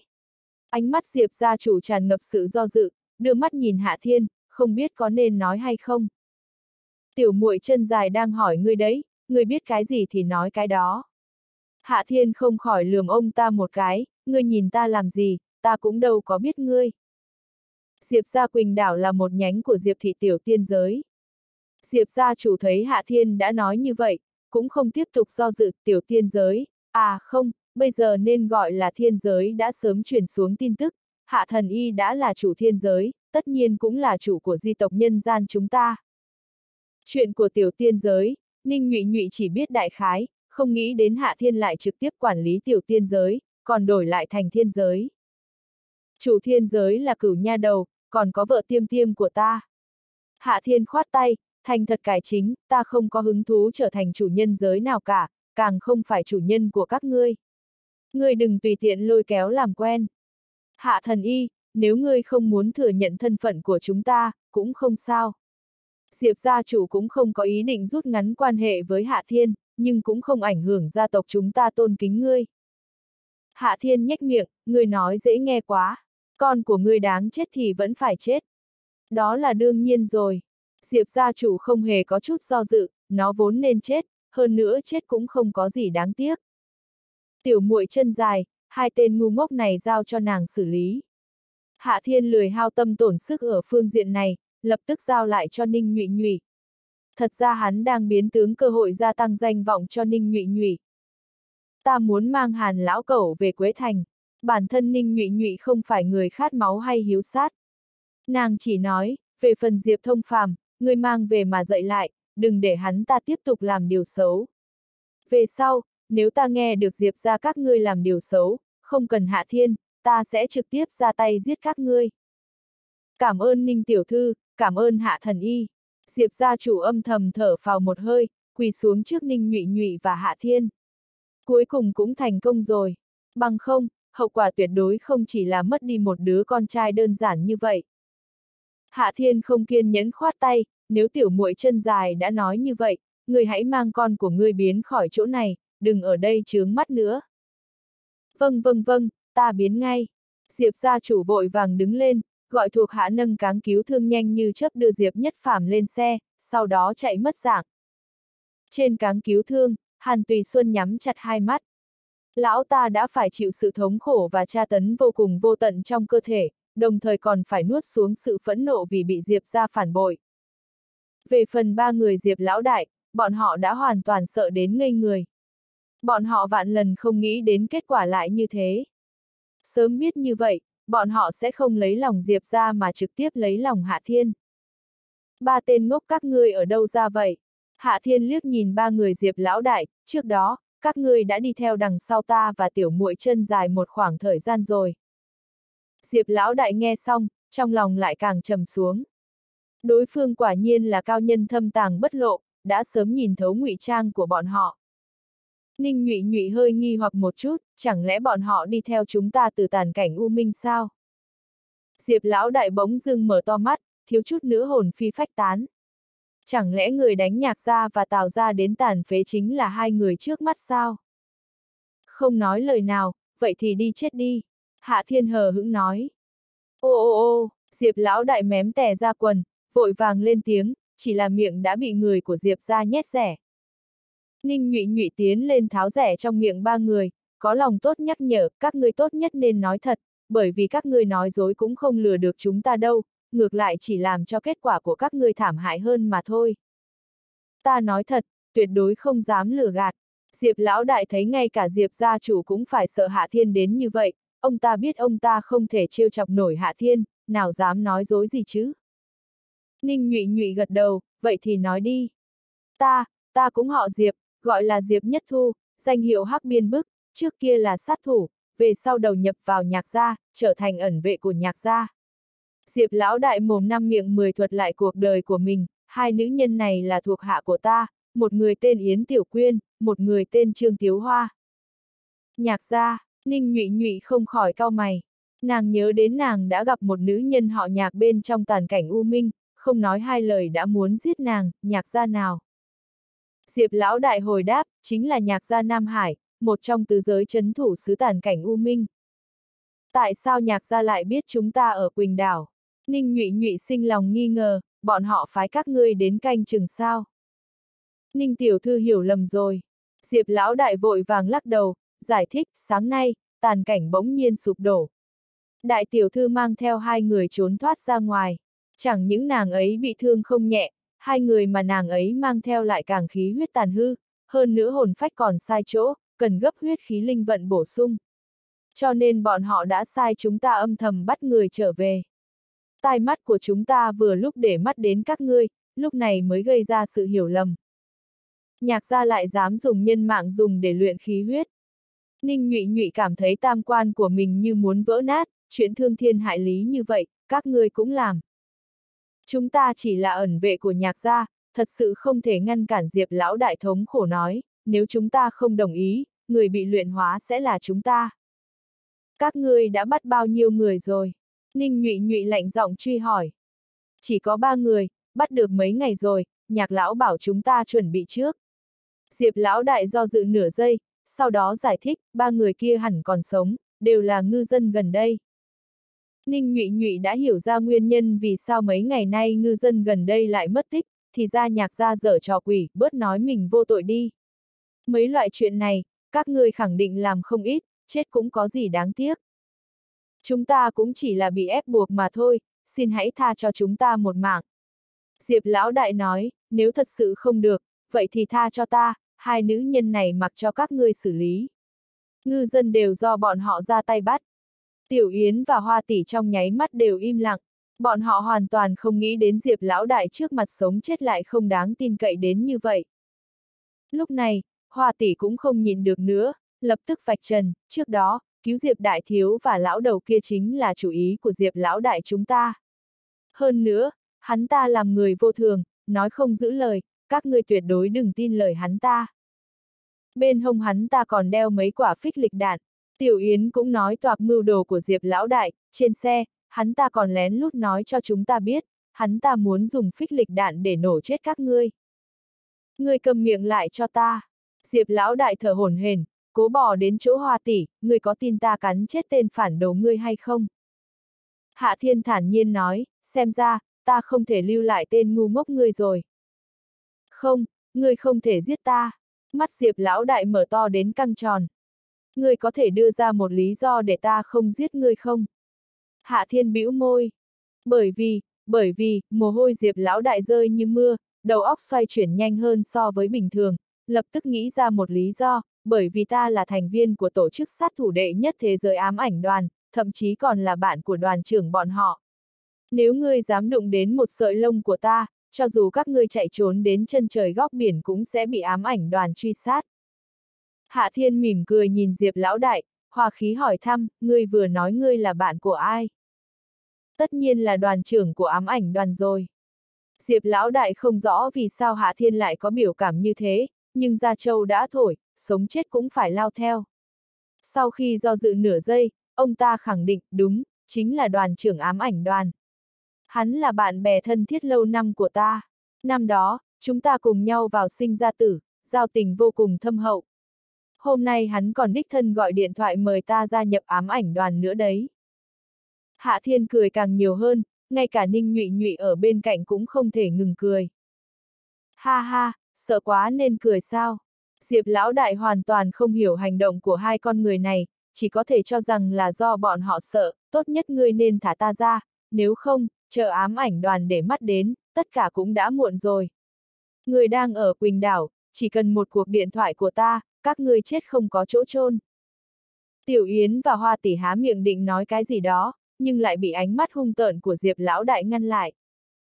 Dù sao, hai nàng cũng đã ở dưới trướng Diệp Lão Đại nhiều năm, biết tính tình của ông ta như thế nào, lập tức không dám lên tiếng vạch trần.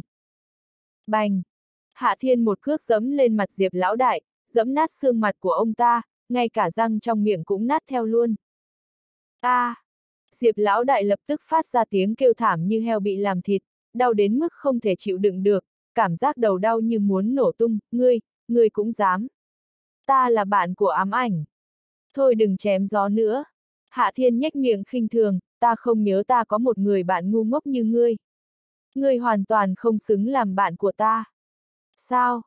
Diệp lão đại nghe xong, không khỏi ngẩn cả người, còn tưởng rằng mình nghe nhầm, vừa nãy ngươi mới nói cái gì. Lỗ tai của ngươi không phải bị điếc sao, ngay cả cái này cũng không nghe rõ. Hạ thiên lười biếng ngáp một cái, rác rưởi như thế mà còn giả mạo làm bạn của ta. Là ai cho ngươi lá gan đó vậy? Diệp lão đại chỉ cảm thấy giống như có một luồng sấm sét chém vào đầu ông ta. Ông ta khó tin mở to mắt nhìn Hạ Thiên, chẳng lẽ ngươi chính là đoàn trưởng ám ảnh đoàn? Không thể nào. Điều này có gì mà không thể chứ? Hắn đích thật là đoàn trưởng ám ảnh đoàn đấy. Ninh nhụy nhụy lên tiếng, lời nói của nàng giống như đao xuyên thẳng trái tim Diệp lão đại, vừa lúc hắn có bệnh thích sạch sẽ, ghét người khác giả mạo làm bạn của hắn. Người đụng vào họng súng rồi. Tiểu Yến và Hoa Tỷ liếc nhìn nhau, lộ ra ánh mắt khiếp sợ. Bọn họ vạn lần không nghĩ đến Hạ Thiên chính là đoàn trưởng ám ảnh đoàn. Sớm biết như vậy, bọn họ nên tìm bạch tổ trưởng tìm hiểu rõ hơn một chút, cũng không đến mức bị Diệp lão đại trực tiếp kéo vào tử địa. Ta có mắt không biết Thái Sơn, mạo phạm lão nhân ra ngươi, xin hãy tha lỗi cho ta.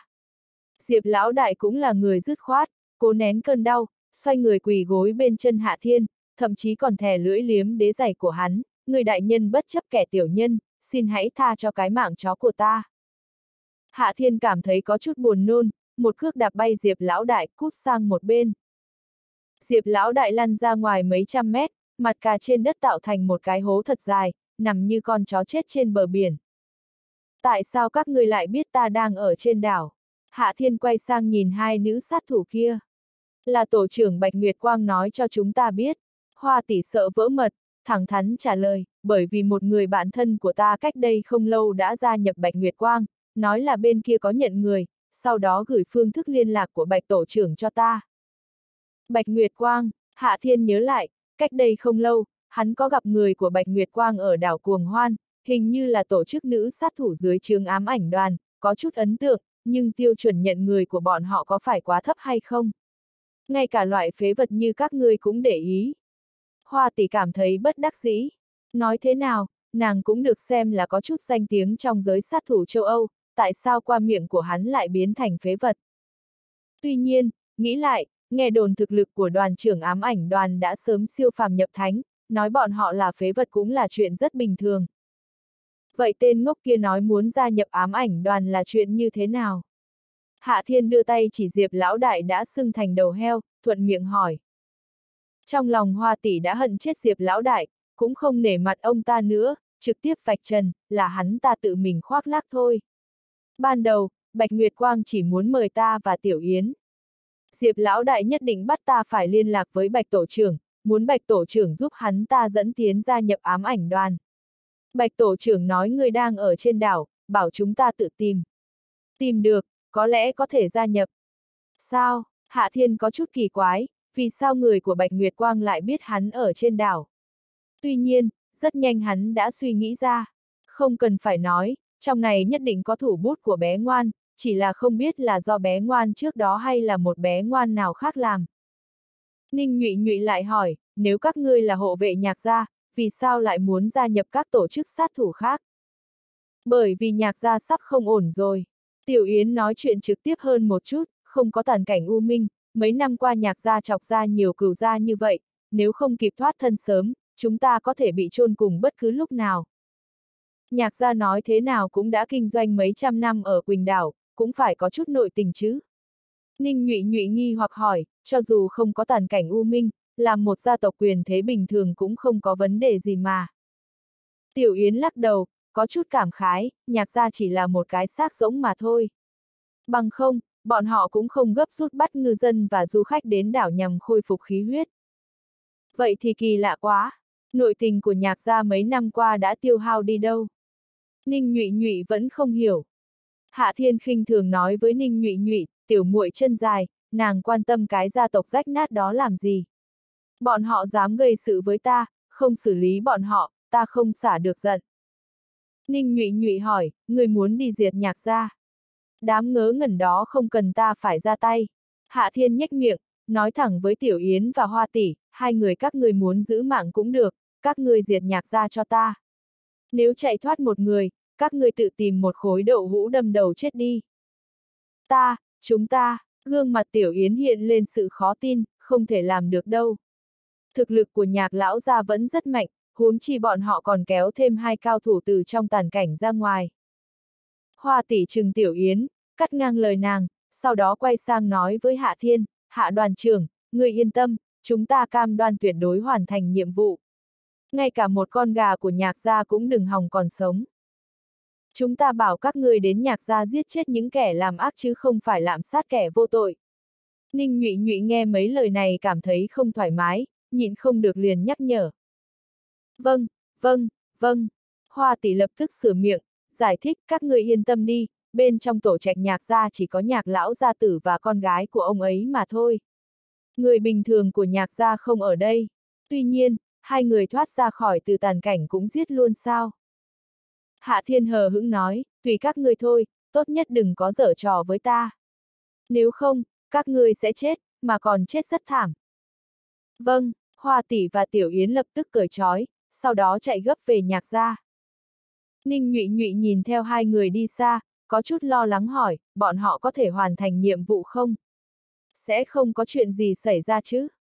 Tiểu muội chân dài, nàng suy nghĩ nhiều rồi, có thể có chuyện gì chứ? Hạ Thiên nói, bọn họ được hay không được, kết quả cũng không có gì thay đổi. Sao? Ninh nhụy nhụy lập tức hiểu ra, người đã hạ châm trên người bọn họ. Vậy bọn họ cũng sẽ chết sao?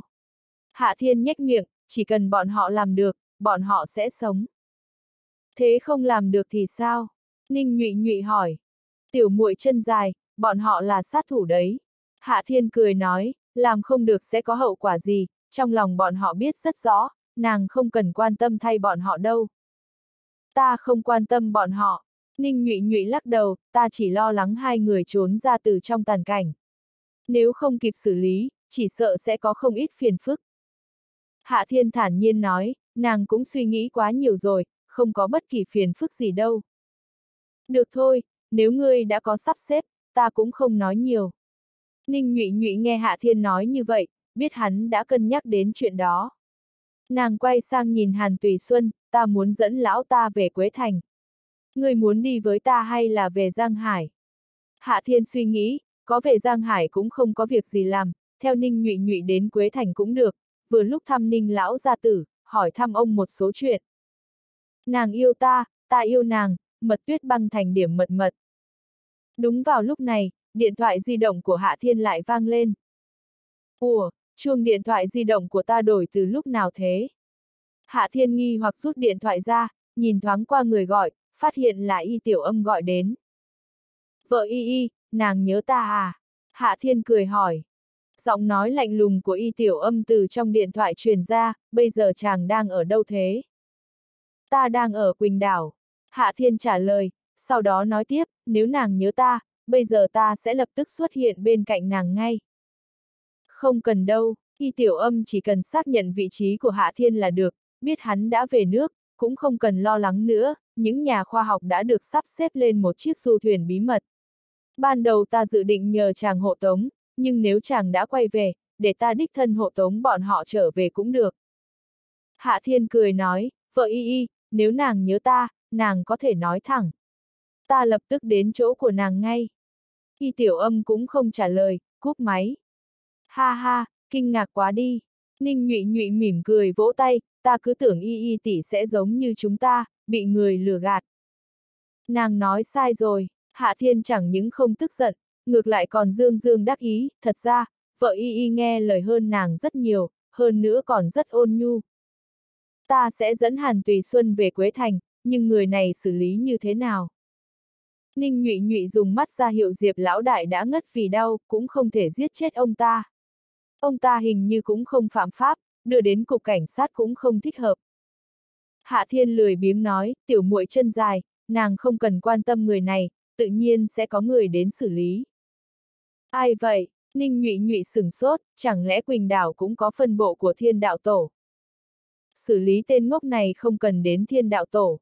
Hạ thiên nhìn về một hướng nào đó, hờ hững nói, sẽ có người đến mang tên ngốc này đi thôi. Ninh nhụy nhụy thuận theo ánh mắt hạ thiên nhìn lại, lập tức cảm nhận được có người ở đó, không khỏi quát hỏi, ai? Ra đây ngay.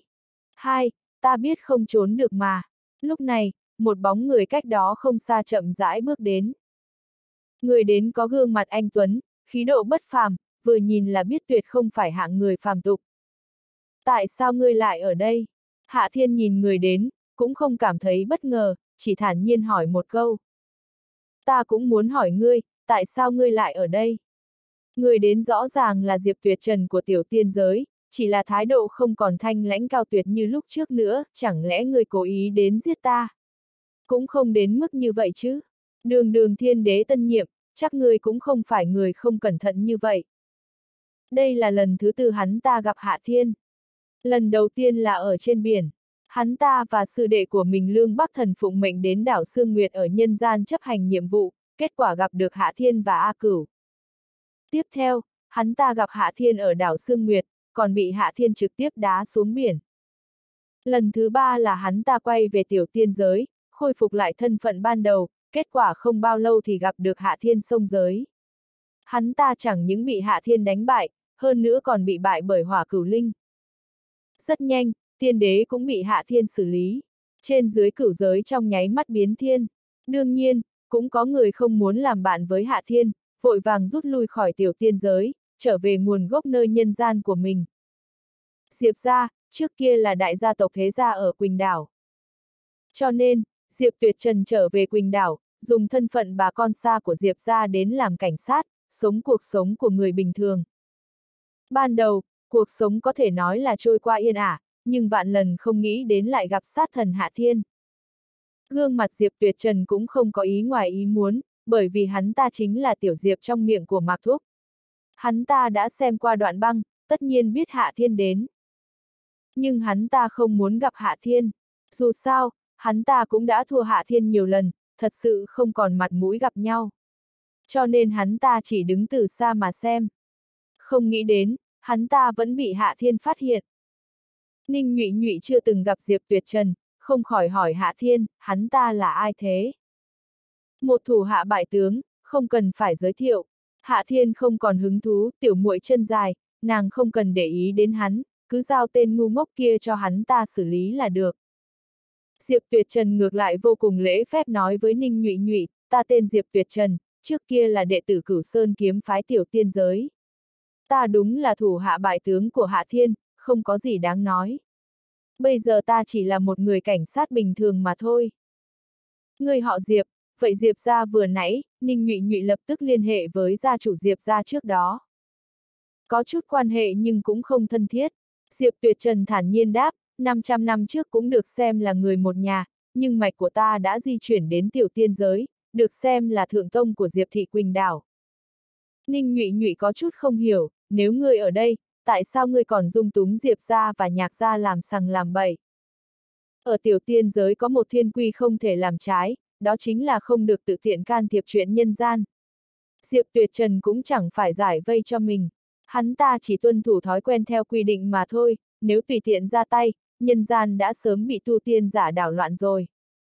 Hạ Thiên có chút khó chịu chừng mắt nhìn Diệp Tuyệt Trần, tiểu tử ngươi có phải đang ám chỉ ta hay không? Ta không có ý đó. Diệp Tuyệt Trần lắc đầu, thản nhiên nói, ta chỉ đang nói chính ta mà thôi. Hạ Thiên không hề lo lắng, người nói ý nào thì có ý đó, liên quan gì đến ta. Quả nhiên vẫn thoải mái như cũ.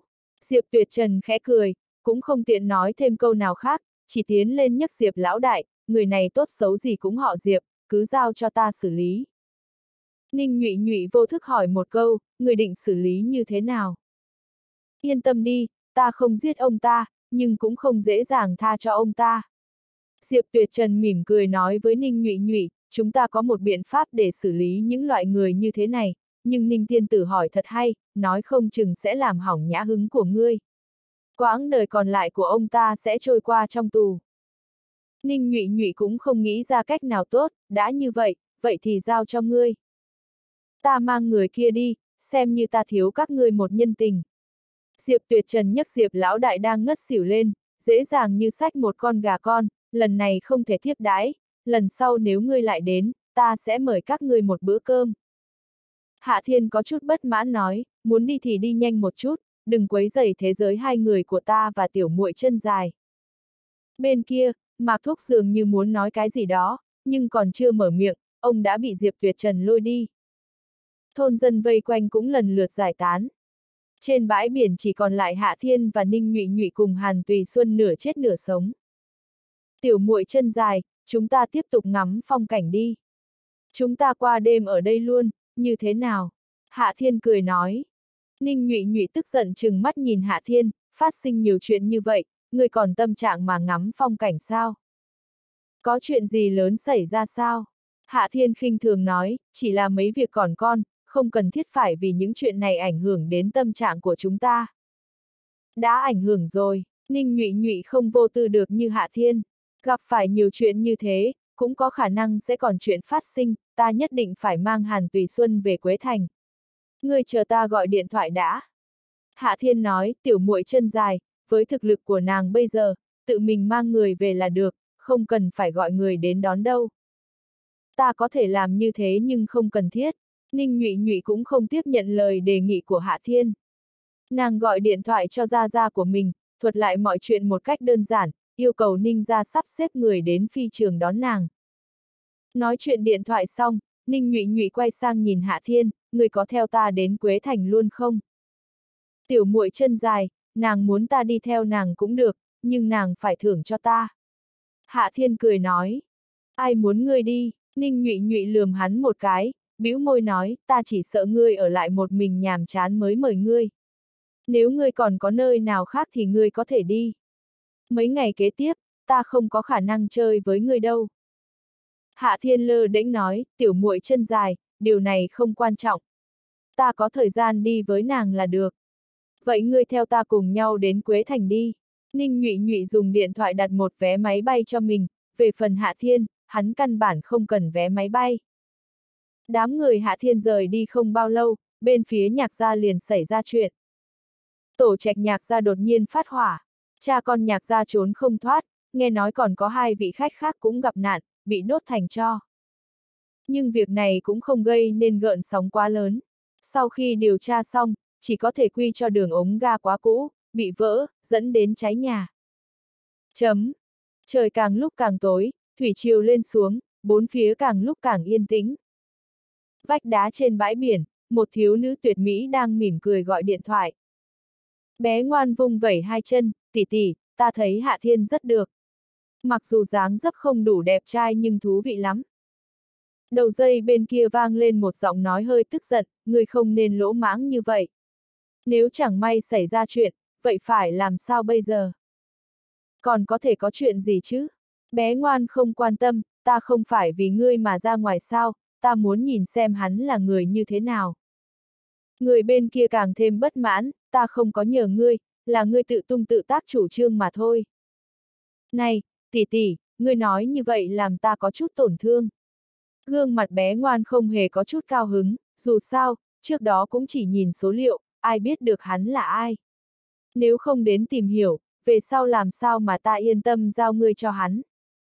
Thẩm Ngọc Manh, ngươi đừng có làm loạn. Người kia hiển nhiên có chút tức giận, nhưng giọng nói vẫn ôn hòa như cũ, ta chẳng có liên quan gì đến hắn, chỉ là được tiểu yêu tinh nhờ vả, giúp hắn xử lý một số việc vặt mà thôi. Người đừng nên gây chuyện. Bé ngoan cười nói, tỷ tỷ, người đang gấp lên đấy. Bây giờ, người có ở bên cạnh hắn không? Người bên kia hỏi. Không có, bé ngoan đáp, dáng dấp ta xinh đẹp như vậy, không thể ở bên cạnh hắn quá lâu. Nếu chẳng may hắn nhìn chằm chằm ta, chẳng phải ta thảm rồi sao? Người bên kia tức giận nói, người bị hắn coi trọng thì xem là thảm, người còn muốn thay ta mai mối cho hắn. Tỷ tỷ, người thì khác. Bé ngoan cười nói, người không có xinh đẹp, đi theo hạ thiên mới có thể trở nên càng thêm xinh đẹp, huống chi bệnh của ngươi cũng nên được chữa trị. Người bên kia bỗng nhiên im lặng. Tỷ tỷ, ta không có ý châm chọc ngươi. Trong lòng bé ngoan có chút hốt hoảng, ta cảm thấy không cần thiết phải che giấu. Dù sao chúng ta cũng quen biết Hạ Thiên, y thuật của hắn tốt như vậy, nhất định có thể chữa khỏi cho ngươi. Người bên kia thản nhiên nói, ta không cần hắn trị, ta cũng không có bệnh. Được rồi, người mau trở về đi. Biết rồi, bé ngoan khẽ thở dài, bây giờ ta về ngay. Khoan đã, nếu ngươi đã đến, vậy ngươi đến Giang Hải đi. Người bên kia chợt nhớ đến một việc, người giúp ta thu thập tin tức và tư liệu về thành phố Giang Hải, còn có kinh thành, tận lực thu thập nhiều video một chút. Bé ngoan có chút không hiểu, chẳng phải chúng ta đã có đủ bản đồ Giang Hải rồi sao? Hơn nữa, chúng có thể hỗ trợ toàn bộ hệ thống giám sát của chúng ta. Ta cần thực cảnh, người bên kia nói, người cứ làm là được, chúng sẽ có tác dụng đối với ta. Ừm, bé ngoan cũng không hỏi nữa. Trước kia bọn họ phân công như thế, một người điều hành ở nhà, một người ra ngoài thu thập các loại tin tức. Nước ngoài, tại một căn hộ. Một nữ nhân trẻ tuổi cúp điện thoại, sau đó duỗi người, đứng dậy làm vài động tác, tiếp theo đến bên cửa sổ nhìn ra xa. Chúng ta, trong hiện thực, sẽ không gặp nhau mới đúng. Máy bay, trong khoang hạng nhất. Chỉ có ba hành khách, chính là Hạ Thiên, Ninh Nhụy Nhụy, còn có Hàn Tùy Xuân bị hạ châm không thể động đậy. Hai tiếp viên hàng không đang nhẹ giọng bàn tán về ba vị khách. Một tiếp viên mặt tròn do dự nói, nữ, nàng ấy là Ninh Nhụy Nhụy sao? Một tiếp viên hơi cao gầy nhìn qua, nhẹ gật đầu, hình như là vậy, nhưng hai người nam kia là ai? Có thể là cha và bạn trai của nàng ấy. Tiếp viên hàng không mặt tròn suy đoán. Không thể nào, tiếp viên hàng không cao gầy có chút không tin, nói thế nào Ninh Nhụy Nhụy cũng là ngôi sao trong giới thể thao, bạn trai lại xấu như thế sao? Cũng không xấu mà, tiếp viên hàng không mặt tròn ngẩn người, lập tức cười nói, nói không chừng còn rất có tiền. Những người nổi tiếng không phải cuối cùng đều đu chân người giàu có sao. Cũng có khả năng, tiếp viên hàng không cao gầy cười khẽ, nếu hắn là người có tiền, ta cũng muốn làm quen. Nói không chừng có thể chim bay đầu cành thì sao? Tiếp viên hàng không mặt tròn biết bản thân của mình từ trước đến nay đều có mộng đu bám người giàu, không khỏi cười nói, vậy ngươi chủ động đi, nói không chừng còn có chuyện tình đẹp diễn ra thì sao? Tuy nhiên, người phải thắng qua Ninh Nhụy Nhụy mới được. Thôi đi, Ninh Nhụy Nhụy có gì đặc biệt đâu, chỉ là một nữ nhân giống nam nhân mà thôi. Tiếp viên hàng không cao gầy khinh thường, có chút kiêu ngạo bày ra tư thái của mình, không phải mã xảo vân ta khoác lác, nam nhân nào mà không thèm tư thái này. Tiếp viên hàng không mặt tròn chỉ một cái vào ngực tiếp viên hàng không cao gầy, trêu đùa tư thái tốt, chỉ là chỗ này như tảng đá sữa. Ngươi không sợ phú hào miệng toàn silicon sao? Ngươi biết cái gì? Tiếp viên hàng không cao gầy đẩy tay bạn thân của mình ra, hất cằm nói, nam nhân đều thích lớn, ai quan tâm là thật hay giả. Hơn nữa, lão nương có cách trói bọn họ lại. Khi ngươi câu được phú hào, cũng đừng quên người bạn tốt này nhé. Tiếp viên hàng không mặt tròn mỉm cười phụ họa. Trong lúc hai người đang còn định nói gì đó, tiếp viên trưởng bước đến chừng hai nàng một chút, nhỏ giọng cảnh cáo, hai người đừng bàn tán thị phi hành khách sau lưng như thế. Tiếp viên hàng không cao gầy có chút không phục, chúng ta chỉ tùy tiện nói chuyện thôi mà, tại sao lại là thị phi chứ? Bọn họ không nghe thấy đâu, sợ cái gì? Đây không phải vấn đề sợ hay không, mà là tôn trọng tối thiểu. Tiếp viên trưởng trẻ hơn hai tiếp viên hàng không một hai tuổi, có chút không nói được. Đúng vậy, người quá nhạy cảm rồi. Tiếp viên hàng không mặt tròn cũng cau mày, tiểu lý, người mới làm tiếp viên trưởng được có mấy ngày mà đã bắt đầu quản tam quản tứ. Chúng ta nói gì cũng phạm kiêng kỵ của ngươi sao? Hừ, cũng không biết ngươi dựa vào cái gì. Rõ ràng kinh nghiệm không cao bằng chúng ta. Nữ tiếp viên hàng không cao gầy lại càng không nể mặt. Ánh mắt tiếp viên trưởng tiểu lý ngưng lại, lạnh lùng nói, nếu các người có ý kiến, các người có thể phản hồi lên trên bất cứ lúc nào. Bây giờ là thời gian làm việc, tối thiểu nên tôn trọng đạo đức nghề nghiệp của mình. Các ngươi nên đi xem hành khách có nhu cầu gì không, làm tốt phận sự của mình đi. Lúc này, khoang hạng nhất vang lên tiếng chuông gọi. Có gì đặc biệt hơn người đâu, lại còn bày đặt ra vẻ. Tiếp viên hàng không cao gầy cười lạnh một tiếng, cũng không nói tiếp, quay người bước đến khoang hạng nhất. Sắc mặt tiếp viên hàng không mặt tròn cũng lạnh lại, quay người bước vào khoang hạng nhất luôn. 2. Tiểu lý thở dài trong lòng, nhưng rất nhanh đã gạt bỏ tâm trạng tiêu cực ra ngoài, nở nụ cười thật tươi, chuẩn bị kỹ càng điểm tâm và nước trà đến khoang phổ thông. Tiếp viên hàng không cao gầy thu lại thái độ, mỉm cười dạng dỡ bước đến trước mặt Hạ Thiên, Hạ Tiên Sinh, xin hỏi ta có thể giúp được gì cho ngài hay không? Người không giúp được ta đâu, người đổi người khác đến đây đi. Hạ Thiên nhìn cũng không thèm nhìn nữ tiếp viên hàng không cao gầy, thuận miệng nói. Ninh nhụy nhụy hỏi Hạ Thiên, người định làm gì thế? Không làm gì cả, chỉ muốn đổi tiếp viên hàng không thôi. Hạ Thiên lười biếng ngáp một cái, nhìn người này tâm trạng giảm sút, muốn đổi người đẹp mắt hơn thôi. Ánh mắt tiếp viên hàng không cao gầy hiện lên sự xấu hổ và giận dữ, nhưng ngoài mặt vẫn tươi cười như cũ, nếu Hạ Tiên Sinh có ý kiến gì đối với ta, ngài cứ việc nói thẳng, ta sẽ sửa đổi. Ngươi xấu quá, Hạ Thiên nhếch miệng, tốt nhất ngươi đừng xuất hiện trước mắt ta nữa. Tiếp viên hàng không cao gầy có chút không nhịn được, đang định nói cái gì đó, tiếp viên hàng không mặt tròn sau lưng đã vỗ vai nàng, khẽ lắc đầu, ra hiệu đổi người. Chào ngài, hạ tiên sinh, ta, tiếp viên hàng không mặt tròn nở nụ cười hiền lành đắc ý nhất của mình, lên tiếng chào hỏi. Hạ thiên nói thẳng, người lại càng xấu hơn, miệng lại còn thối, đổi người khác cho ta. a à, tiếp viên hàng không mặt tròn còn chưa nói xong, cơn tức đã dâng lên ngực, lại càng thêm không thoải mái. Ta nhớ vừa rồi có một tiếp viên hàng không trẻ tuổi, xinh đẹp hơn các ngươi. Nàng ấy đâu, bảo nàng ấy đến đây cho ta. Ánh mắt Hạ Thiên hiện lên sự giảo hoạt, nếu nàng ấy không đến, ta sẽ khiếu nại hai người các ngươi. Audio điện tử võ tấn bền. Hết tập 166